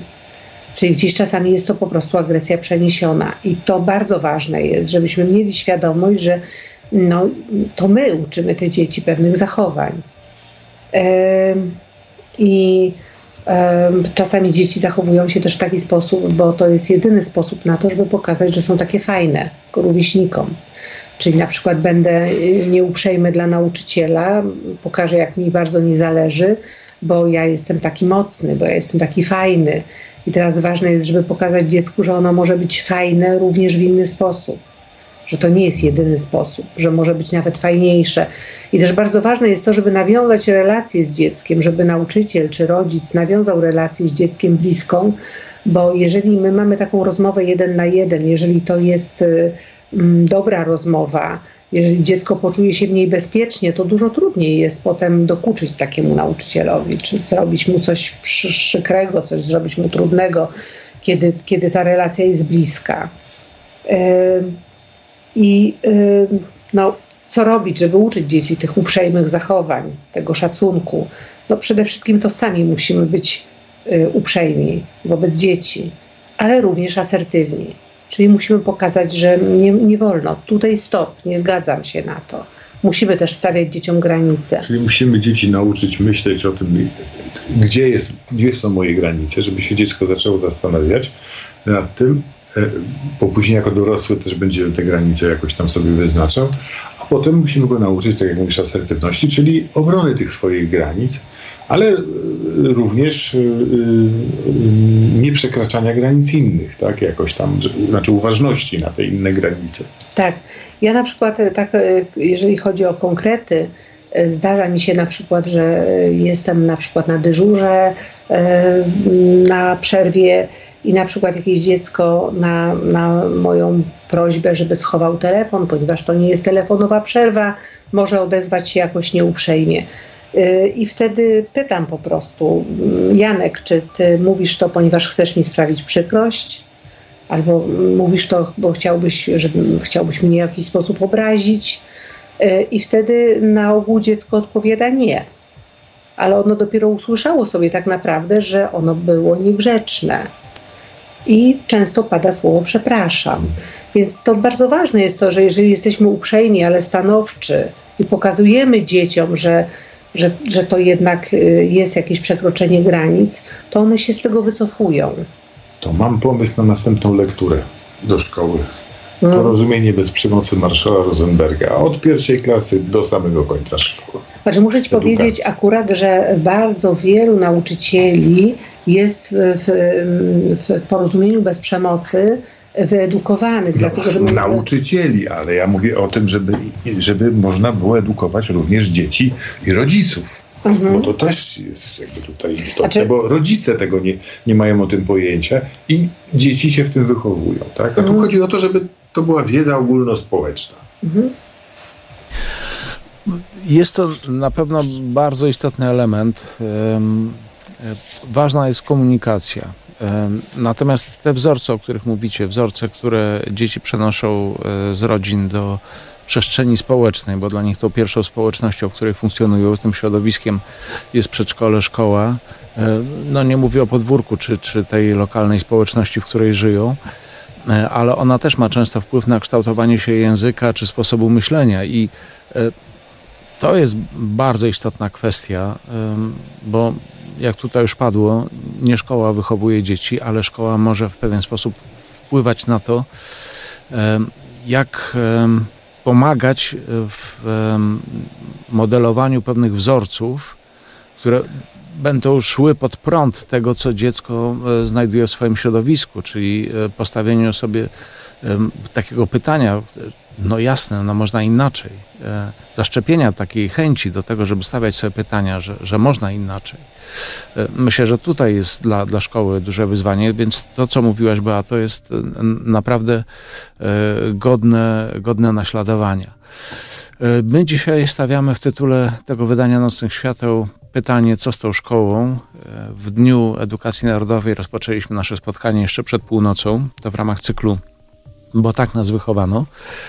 Beata i Bogdan Janowscy są z nami, pedagodzy i mediatorzy z Fundacji Międzypokoleniowa Akademia Rozwoju. Państwa zapraszamy jak zawsze na Facebook, profil Radia Plus pod pierwszy post od góry. Tam jest miejsce na komentarze, myśli, e, refleksje. E, tam Państwa zapraszam do dzielenia się swoimi e, także wątpliwościami, czy może pomysłami na to, jak szkoła powinna funkcjonować, na co zwrócić uwagę, zarówno jeśli chodzi o kadrę nauczycielską, jak i e, ich stosunek do, do młodzieży, czy, czy również w jaki sposób formować programowo, w jaki sposób systemowo wprowadzić pewne rozwiązania, które byście Państwo chcieli widzieć e, w systemie edukacji. Zapraszam profil Radia Plus pod pierwszym postem od góry. Tam jest miejsce. To jest forum wymiany myśli dla świetlików, a my po piosence wracamy na ciąg dalszy. W Nocnych Światłach dzisiaj cykl, bo tak nas wychowano, postawiliśmy w programie, który rozpoczęliśmy w Dniu Edukacji Narodowej pytanie, co z tą szkołą? I mamy tutaj praktyków, e, fachowców, którzy są naszymi Państwa i moimi gośćmi, a zarazem współtwórcami tego cyklu Beata i Bogdan Janowscy, pedagodzy i mediatorzy z Fundacji Międzypokoleniowa Akademia Rozwoju są z nami tego wieczora. E, państwa zapraszam do dzielenia się swoim doświadczeniem, myślami, refleksjami, e, wątpliwościami. Profil Radia Plus pod pierwszym postem od góry to jest miejsce na Państwa komentarze. Zapraszam też do tworzenia pewnego, nie wiem, może formularza propozycji, które byście Państwo widzieli jako, e, jako mm, taki istotny element, który powinien w szkole czy systemowo, czy, czy nawet w mniejszym wymiarze funkcjonować. Wracam do, do tej ankiety, która, e, o której tutaj co pewien czas wspominam. Otóż e, ankietowani, którzy pytani byli o to, jak, jakie są wyzwania dla edukacji w naszych czasach, w XXI wieku, Mówili także o e, realizacji prymatu umiejętności nad wiedzą.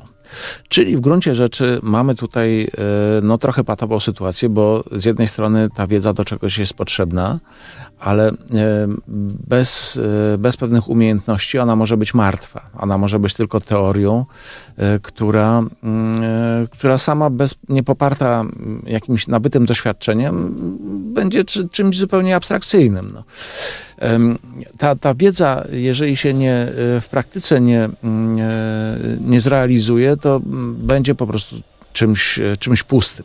E, nie mówię oczywiście o takich przedmiotach stricte humanistycznych, jak właśnie historia, o której tutaj Beato e, mówiłaś, czy, czy kwestie języka polskiego, znajomości literatury, umiejętności posługiwania się językiem jako, jako pewne, pewnego bogactwa i, i również kształtowania osobowości i wrażliwości na drugiego człowieka, bo literatura, no, przynajmniej ta dobra, ta piękna, powinna uczyć mądrości, właśnie postaw życiowych, moralności, etyki, mm, ale co, e, co dalej jeszcze, e, o czym mówili ankietowani? Wzmocnienie wychowania.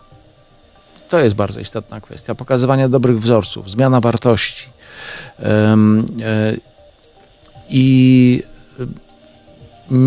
nie tutaj nie od siebie dodając myśl, nie ograniczałbym kwestii tradycji, czyli, czyli tego, co jest wielu przestrzeniach teraz uważane za, za jakiś ciężar. Ja bym z tego nie, absolutnie nie rezygnował, bo tradycja też e, mówi o jakiejś tożsamości, o korzeniach, o, o czymś, co, e, co jest mm, bardzo istotne, jeśli chodzi o nauczanie społeczne, czyli te, tej przynależności, tego, tej umiejętności odnalezienia się w społeczności, e, w środowisku. Jeżeli mówimy o czymś, co, co ma jakiś walor patriotyzmu, nawet jeżeli to jest sprzątanie lasu, to bez e, świadomości jakiejś tradycji, czyli poszanowania e, wspólnoty, e, to może być tylko i wyłącznie jak, nauka jakiejś czynności, która nie będzie miała głębszej treści.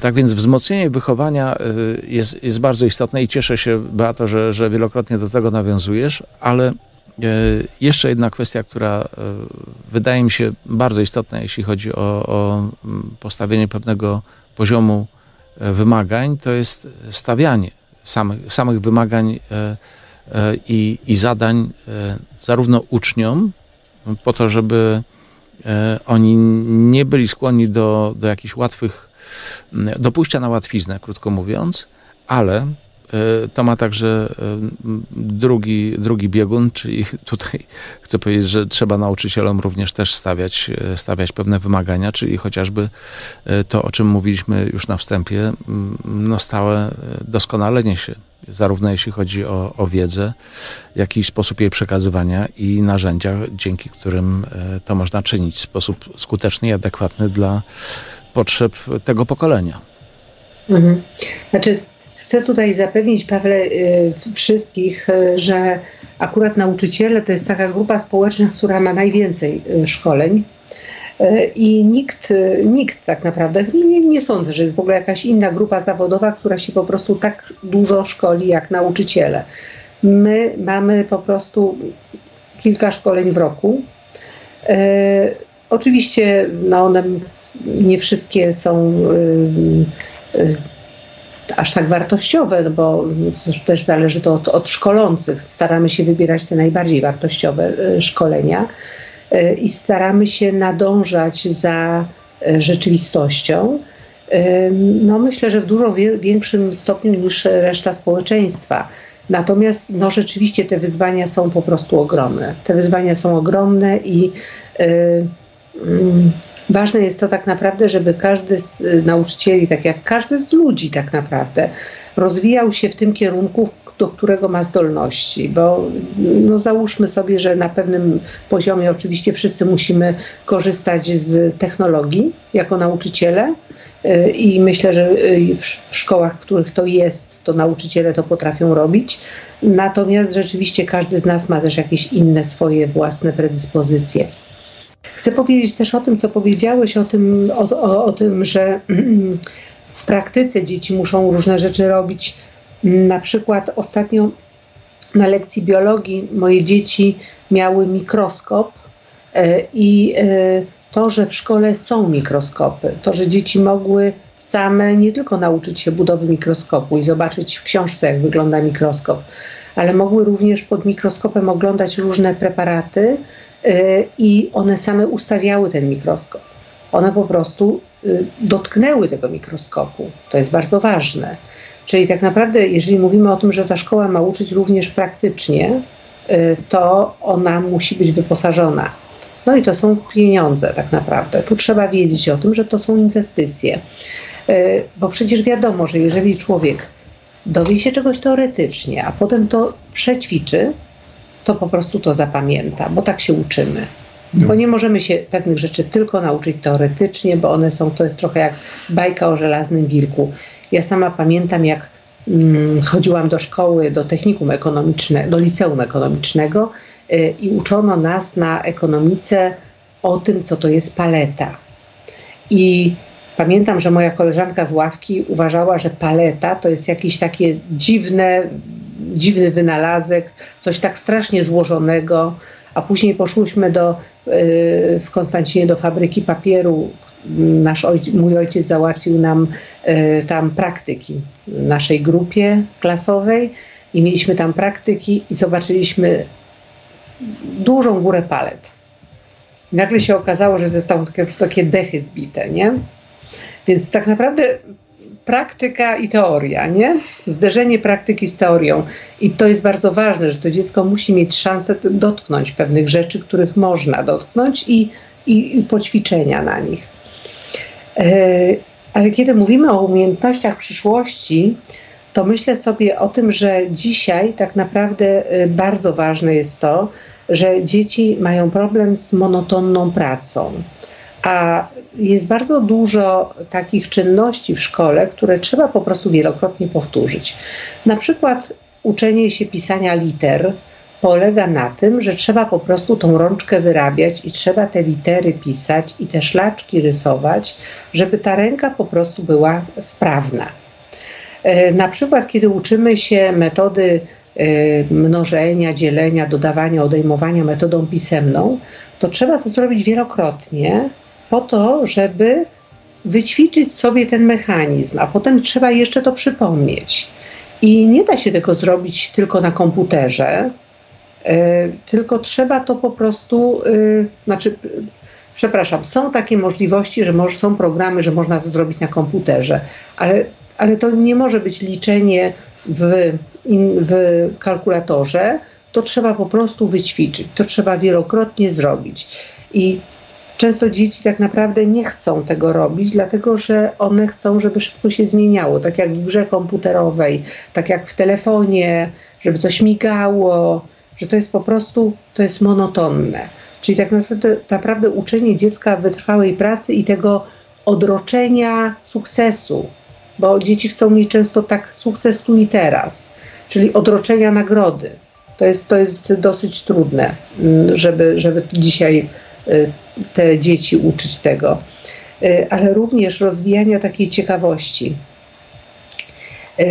Widzę, że dzieci, których domach rodzice dużo z nimi rozmawiają, zabierają te dzieci gdzieś, pokazują im, że świat jest ciekawy, łatwiej jest zaciekawić te dzieci.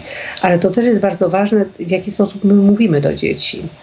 Bo jeżeli nauczyciel czy rodzic jest pełen pasji, kiedy opowiada o czymś, co, co w taki sposób, który jest y, zaciekawiający, to, to chodzi o to, żeby wciągnąć te dzieci w tą opowieść. To nie może być nudne w żadnym, żadnym calu. Y, w tym też pomagają multimedia, bo można też pokazywać ciekawe filmiki, grafiki na przykład.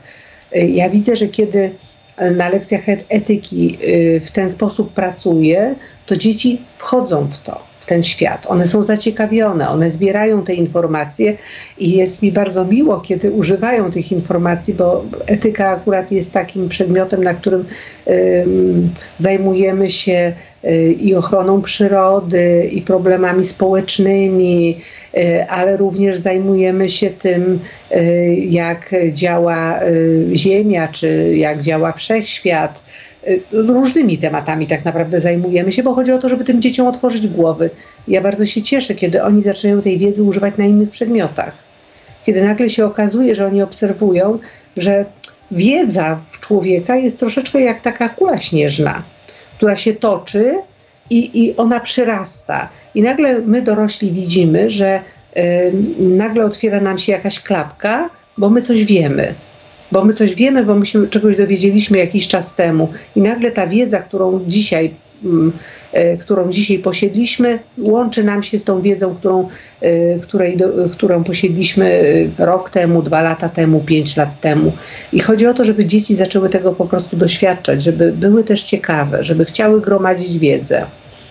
Y, ale również uczenie dzieci niestandardowych rozwiązań. Ja jestem na przykład zachwycona, kiedy na lekcji matematyki nauczycielka podchodzi do dziecka i mówi: Zrobiłeś to taką metodą, inną metodą niż ona uczyła, ale taką metodą też można to zrobić. Czyli tak naprawdę nie chodzi o to, że jest tylko jedno rozwiązanie. Są takie zadania, które mają wiele sposobów rozwiązań. Y, takie, są takie sytuacje, które można rozwiązać na wiele sposobów.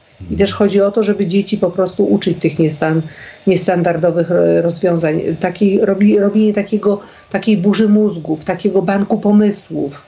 Chodzi o to, żebyśmy tak naprawdę y, uruchamiali po prostu swój, swój, swój y, rozum, swoje, swoje myślenie. E, I myślę sobie, że e, również uczenie takie kreatywne dziecka, dzieci, powiem tak, dzieci w ogóle są kreatywne ze swojej natury, bo dzieci potrafią dla, jednego, dla jednej rzeczy znaleźć bardzo wiele zastosowań. E, one mają taką, taką po prostu umysłowość. Natomiast chodzi o to, żebyśmy my dorośli poprzez ich wychowywanie, również szkołę, nie zabijali tej kreatywności. Nie mówili, że można tylko w taki sposób, że ta jedna rzecz służy tylko do tego, a nie do innego. Bardzo istotna kwestia, to też wrócimy do niej już za moment. Dzisiaj w Nocnych Światłach cykl, bo tak nas wychowano, e, w związku z wczorajszym świętem Dniem Edukacji Narodowej e, postawiliśmy w tytule pytanie, co z tą szkołą? Próbujemy zmierzyć się z tym, jak to wygląda od strony edukacji, od strony, od strony nauczycieli, od strony potrzeb e, młodzieży, e, ale także od e, spraw systemowych. Beata i Bogdan Janowscy są z nami, pedagodzy i mediatorzy z Fundacji Międzypokoleniowa Akademia Rozwoju. Mm, państwo macie jeszcze około 20 minut, bo tyle dzieli nas od pierwszej, mm, by napisać do nas na Facebooku, na profilu Radia Plus pod pierwszym postem od góry. To miejsce czeka na Państwa komentarze, refleksje, pytania, wątpliwości. Mm, tam jest forum wymiany myśli dla świetlików. Do tego zapraszam, bo już ostatnie minuty przed nami. Za chwilę spotkamy się na ostatnią część dzisiejszej dyskusji. Niespełna 15 minut nam pozostało do pierwszej, e, czyli około kwadransa, również do końca tego wydania Nocnych Świateł. E, w cyklu, bo tak nas wychowano, tego wieczora postawiliśmy w tytule pytanie, co z tą szkołą?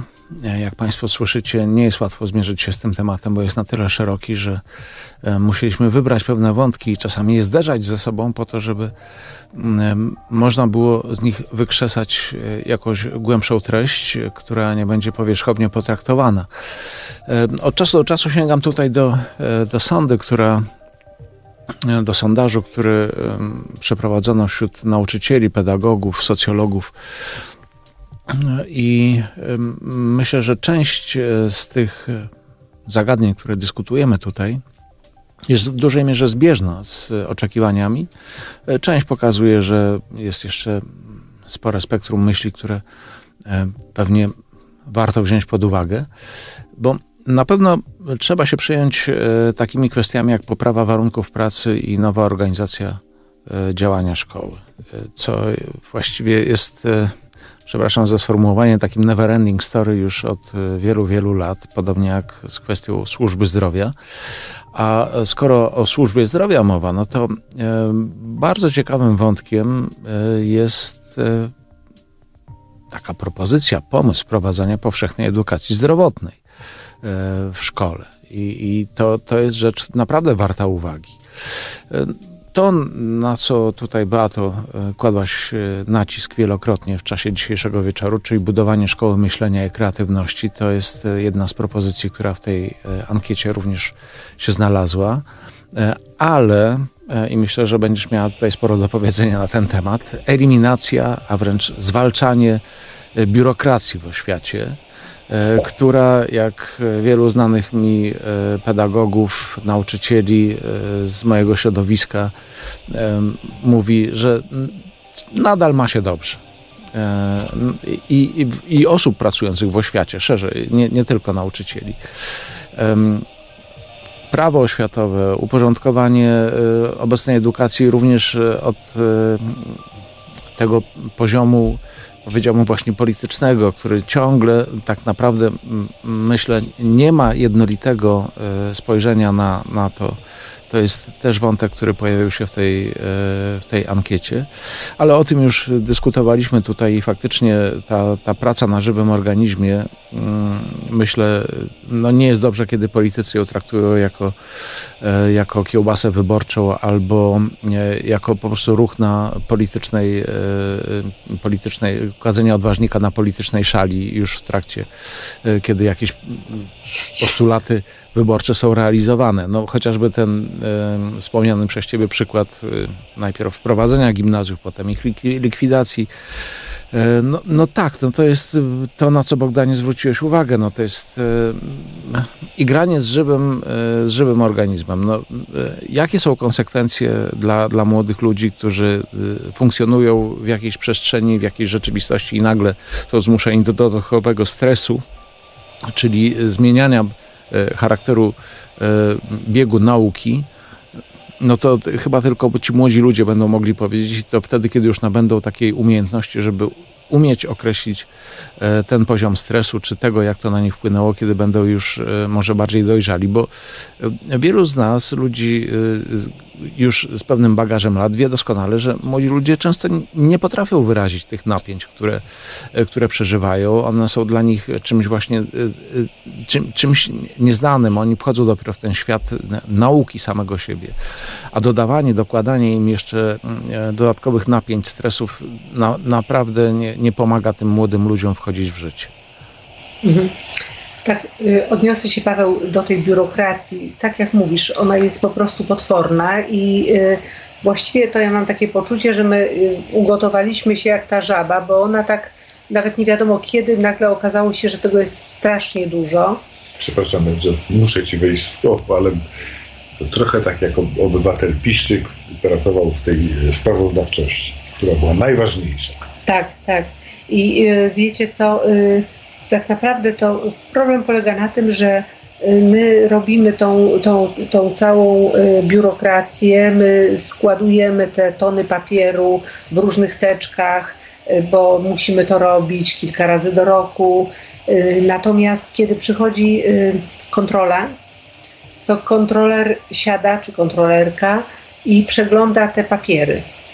Te papiery są istotne w ogóle, nie, w ogóle nie jest istotne, co robimy wychowawczo, w ogóle nie jest istotne, ile dzieci, ilu dzieciom pomogliśmy, jak e, stworzyliśmy zespół klasowy, w jaki sposób zapobiegliśmy przemocy, jak prowadzimy właśnie edukację prozdrowotną. Y, to nie jest w ogóle istotne. Istotne są papiery. I, i, I miarą tego, że dobrze pracujemy, jest to, że mamy wszystkie papiery zrobione na czas i zrobione prawidłowo. I to jest, powiem, mnie jako pedagoga bardzo to boli, bo mam takie poczucie, że to nie jest ten, tu nie powinien być punkt ciężkości, prawda, bo, bo to nie to jest istotne. E, no ale tyle o tym. E, chcę powiedzieć, że e, elementy tej edukacji prozdrowotnej są już w szkole, natomiast być może powinno być jej jeszcze więcej. Mamy na przykład zespół do spraw wdrażania zdrowego stylu życia w szkole, tak? Zdrowego żywienia.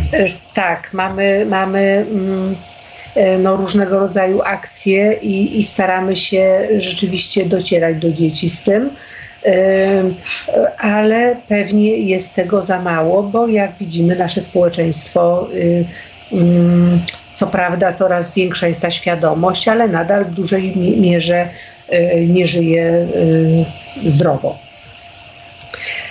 Dobrze, ale kiedy chcemy mm, mówić o tej wspólnocie, to teraz miałoby być, prawda, o wspólnocie, to bardzo ważne jest to, żeby pokazywać dzieciom, że właśnie ta wspólnota zawsze jest silniejsza od jednostki i że bardzo ważne jest to, żeby um, nauczyć się tych miękkich umiejętności, nauczyć się po prostu współpracy i szkoła jest takim miejscem, gdzie my możemy się tego uczyć, e, bo, bo właśnie wtedy dzieci mają najbardziej takie, taką, taką umiejętność uczenia się. Bardzo dużo zależy również od rodziców, dlatego że jeżeli rodzic jest osobą, która zaprasza inne dzieci na urodziny, rodzic jest osobą taką współpracującą, uczącą dziecko y, przyjaźni, uczącą dziecko, dziecko tolerancji na, na, na różnych ludzi, to takie dziecko y, z dużo większą otwartością wchodzi właśnie w te wszystkie pomysły, które które szkoła później mu mm, oferuje. Y, powiedzenie dziecku i pokazanie, że mm, my mamy bardzo różne pomysły na życie. Y, I boli mnie to, że często ludzie, dorośli tego nie potrafią. Jeżeli my tego nie potrafimy, to jak mamy nauczyć tego dzieci? Y, no bo tak naprawdę warto jest sobie zobaczyć, że my w społeczeństwie Y, mamy często odmienne poglądy, styl życia mamy odmienny, y, inaczej funkcjonujemy, ale jednak ja bym zwróciła uwagę głównie na to, że jest ogromny obszar takiej troski y, rozumianej jako dobro wspólne, bo takimi obszarami na przykład jest zdrowie. Wszyscy chcemy, żeby nasze społeczeństwo było zdrowe, prawda? E, życie. Każdy uważa, że życie jest wartością nadrzędną, albo bezpieczeństwo, tak? Czyli gdzieś tutaj warto jest zobaczyć, że w takich sytuacjach trudnych my się jednoczymy jednak, prawda? Tutaj może dodam y, taką myśl, że w sumie życie jest wartością zasadniczą, bo pewnie są jakieś wartości, które można by nad życiem postawić. No honor, Bóg, prawda, ojczyzna i tak dalej, i tak dalej. Jest właśnie wspólnota, społeczność. Um, drugi człowiek, życie drugiego człowieka, ale życie jest to wartością zasadniczą, która, która pozwala te inne wartości e, przeżywać. Mhm, mhm. Tak, i ja myślę sobie, że, że naprawdę na bardzo wielu obszarach, polach my się spotykamy ze sobą. Na przykład y, opieka nad słabszymi, jakby gdzieś, gdyby zrobić taką ankietę i zapytać, czy to jest istotne, to myślę sobie, że dla większości społeczeństwa byłoby to bardzo istotne. Y, albo na przykład dostęp do edukacji. No to już jest taka zdobycz. Y, dzisiaj rozmawiamy o edukacji, bo myślę sobie, że wszyscy zgadzamy się, że jest to taka zdobycz cywilizacyjna i to jest bardzo ważne. To jest bardzo ważne dla społeczeństwa. Ja często E, mm, kiedy rozmawiam z dziećmi, e, ja im pokazuję na przykład e, filmy o dzieciach na przykład z obszarów Azji czy Afryki, dzieciach, które marzą o tym, żeby chodzić do szkoły, które po prostu nie mają dostępu do edukacji, dlatego że dzisiaj my nawet my sobie czasami nie zdajemy sprawy z tego, że my naprawdę jesteśmy szczęściarzami, ludźmi, którzy urodzili się w takim miejscu, gdzie, gdzie jest darmowa szkoła, gdzie jest edukacja, z której my możemy po prostu skorzystać, gdzie to jest normą, albo gdzie na przykład mamy ochronę przed zagrożeniami, na przykład różnymi, gdzie my mamy edukację, gdzie my mamy, gdzie my mamy opiekę zdrowotną. I bardzo ważne jest dla mnie to, żeby angażować dzieci takie, na, na rzecz działań takich wspólnotowych. E, to jest tak, że na przykład dzieci w tej chwili organizowały e, kawiarenki, sprzedając e, upieczone przez siebie ciasta i zbierały pieniądze na powodzian.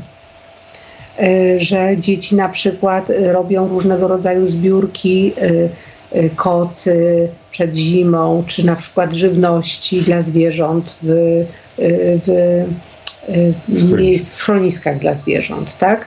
Że gdzieś pokazywanie tym dzieciom, że one również mają wpływ na to, że w naszej rzeczywistości może być lepiej.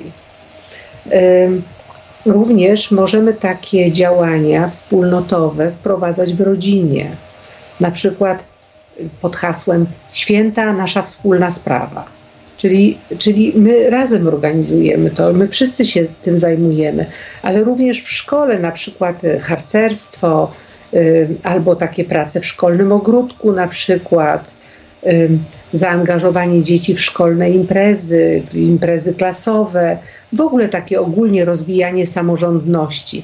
Na przykład w mojej szkole samorząd organizuje dyskoteki dla dzieci to dzieci organizują, to samorząd organizuje, to one organizują i one na przykład y, sprzątają później po takiej imprezie. one organizują muzykę. Oczywiście potrzebują wsparcia nauczycieli po to, żeby przyszli nauczyciele i w swoim y, czasie wieczornym, czyli wolnym, przyjrzeli się, zaopiekowali, zadbali o bezpieczeństwo. Ale bardzo wiele rzeczy, na przykład y, chociażby organizacja szkolnego radiowęzła, mm, jakiejś audycji czy puszczania muzyki, to wszystko mogą organizować dzieci, to wszystko, o wszystko mogą zadbać dzieci. I to jest bardzo ważne, żeby dać dzieciom takie poczucie sprawstwa takie poczucie też odpowiedzialności, bo jeżeli one nie nauczą się tego w tym wieku, kiedy są jeszcze dziećmi, no to nie ma siły, że one później poczują to, że, że one coś tak mogą. Siebie? Tak, że one mogą też coś dać. I tutaj myślę sobie, że dużą y, rolę i, i mają tutaj gminy y, i również kościoły, takiej organizowania wspólnotowości, ale myślę sobie, że to są też organizacje, ale myślę, że wszyscy dorośli powinni się tym przejąć, dlatego że jeżeli wychowujemy dzieci na, na kogoś, kto ma się zajmować tylko sobą, to wyrośnie z niego dorosły, który tak będzie żył który będzie zajmował się tylko sobą i swoją osobą. I to jest bardzo ciekawy wątek na koniec, bo e, jednym z, wracam do tej ankiety, jednym z e, wątków, który pojawił się e, wśród ankietowanych, była silna potrzeba indywidualizacji kształcenia. Pytanie, jak ją rozumieć w kontekście tego, e, w kontekście tego na, na co tutaj kładziecie nacisk oboje e, i co rozumiemy jako, mm, e, jako budowanie wspólnoty przez, przez jednostki, czyli życie we wspólnocie, gotowość nie, nie, nie tylko, jak to dawniej mówiono, przysposobienie do życia w rodzinie, ale do, do tworzenia społeczności szeroko pojętej, czyli po pierwsze rzeczywiście rodziny, po drugie funkcjonowania w grupie e, zawodowej, e, społecznej, koleżeńskiej, rodzinnej, szeroko pojętej, e, familijnej, narodowej, etnicznej itd., tak itd. Tak Jednak w jaki sposób bym bym tutaj optował za wyodrębnieniem takiej, e, takiej indywidualizacji e, kształcenia z tego względu, że nawet jeżeli jest jakaś przestrzeń wspólna, e, i, i wszyscy istniejemy we wspólnocie, no to ta wspólnota nie jest złożona z klonów.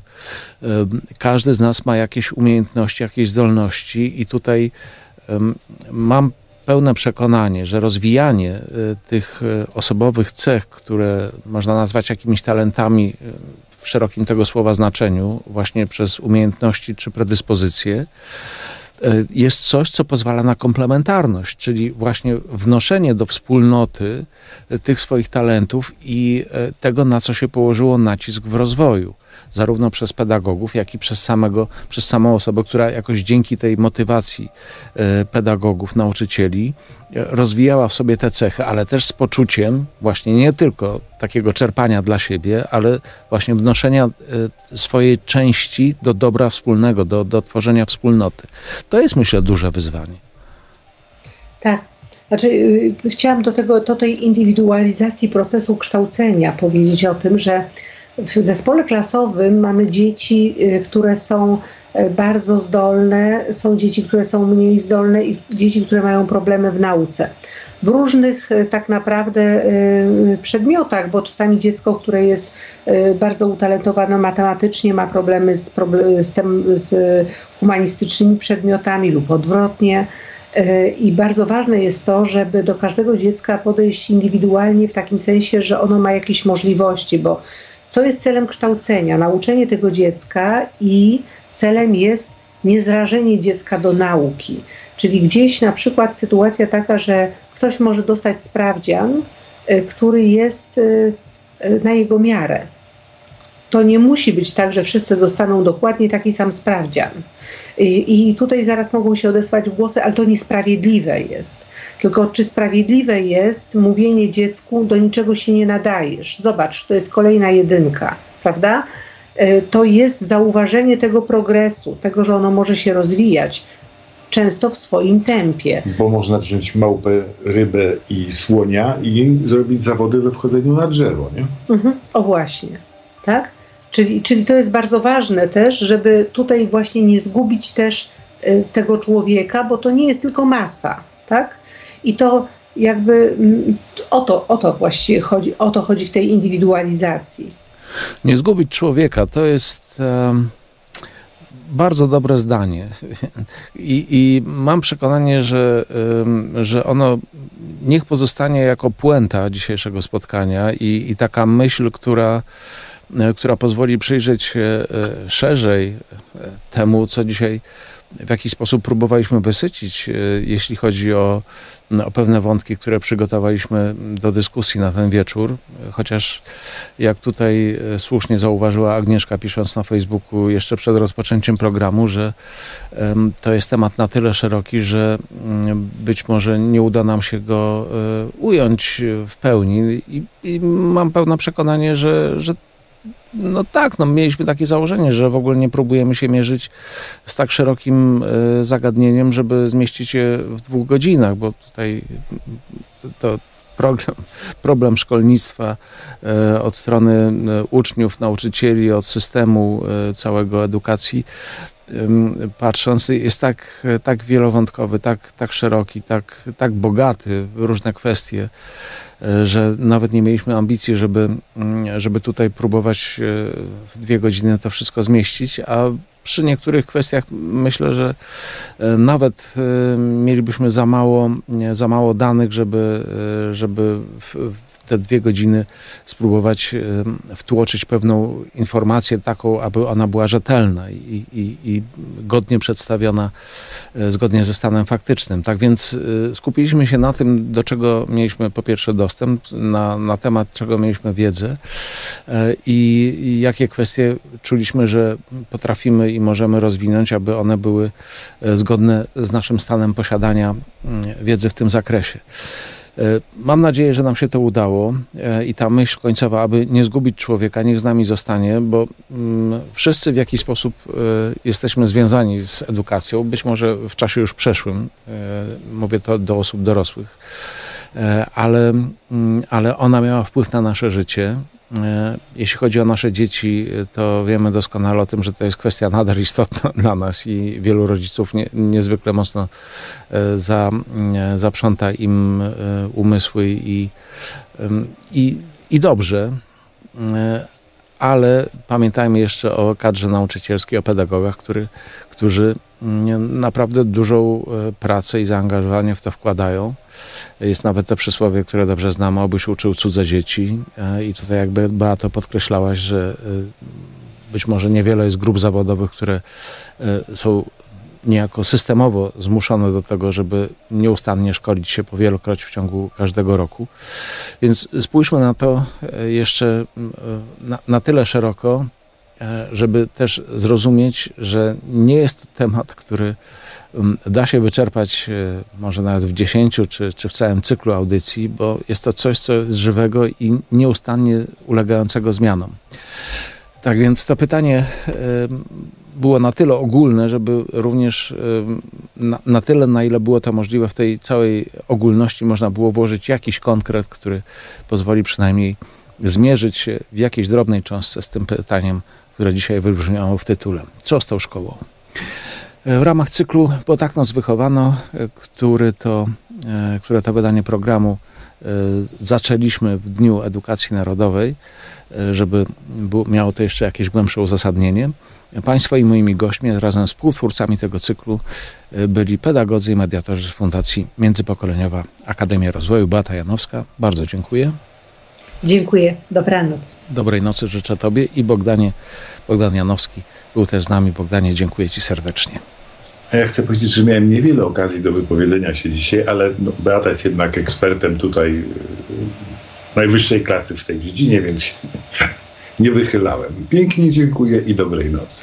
Dziękuję Wam serdecznie, dziękuję Państwu za uwagę, za wspólnie spędzony czas, za wszystkie myśli i komentarze, którymi Państwo się podzieliliście na Facebooku. Przepraszam, e, że nie wszystko udało mi się przeczytać. Zapraszam do Nocnych Świateł od poniedziałku do czwartku. Cztery razy w tygodniu spotykamy się tuż po 23 na częstotliwościach lokalnych Radia Plus. E, w całym kraju można nas słuchać przez radio, na całym świecie przez internet ze strony radioplus.pl a we wtorkowy wieczór e, spotkamy się e, ponownie. Tym razem będzie to cykl Ludzie Boga.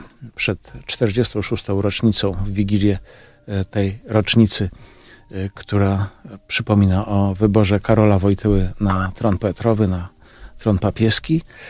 Rozmawiać będziemy o tym, czy e, żyjemy nauczaniem świętego Jana Pawła II. Gościem jutrzejszego wydania będzie Jolanta Sosnowska, publicystka, autorka biografii zatytułowanej Święty Prorok. Paweł Krzemiński, dziękuję za uwagę, kłaniam się nisko. Dobrej nocy, zostańcie z Bogiem. Do usłyszenia.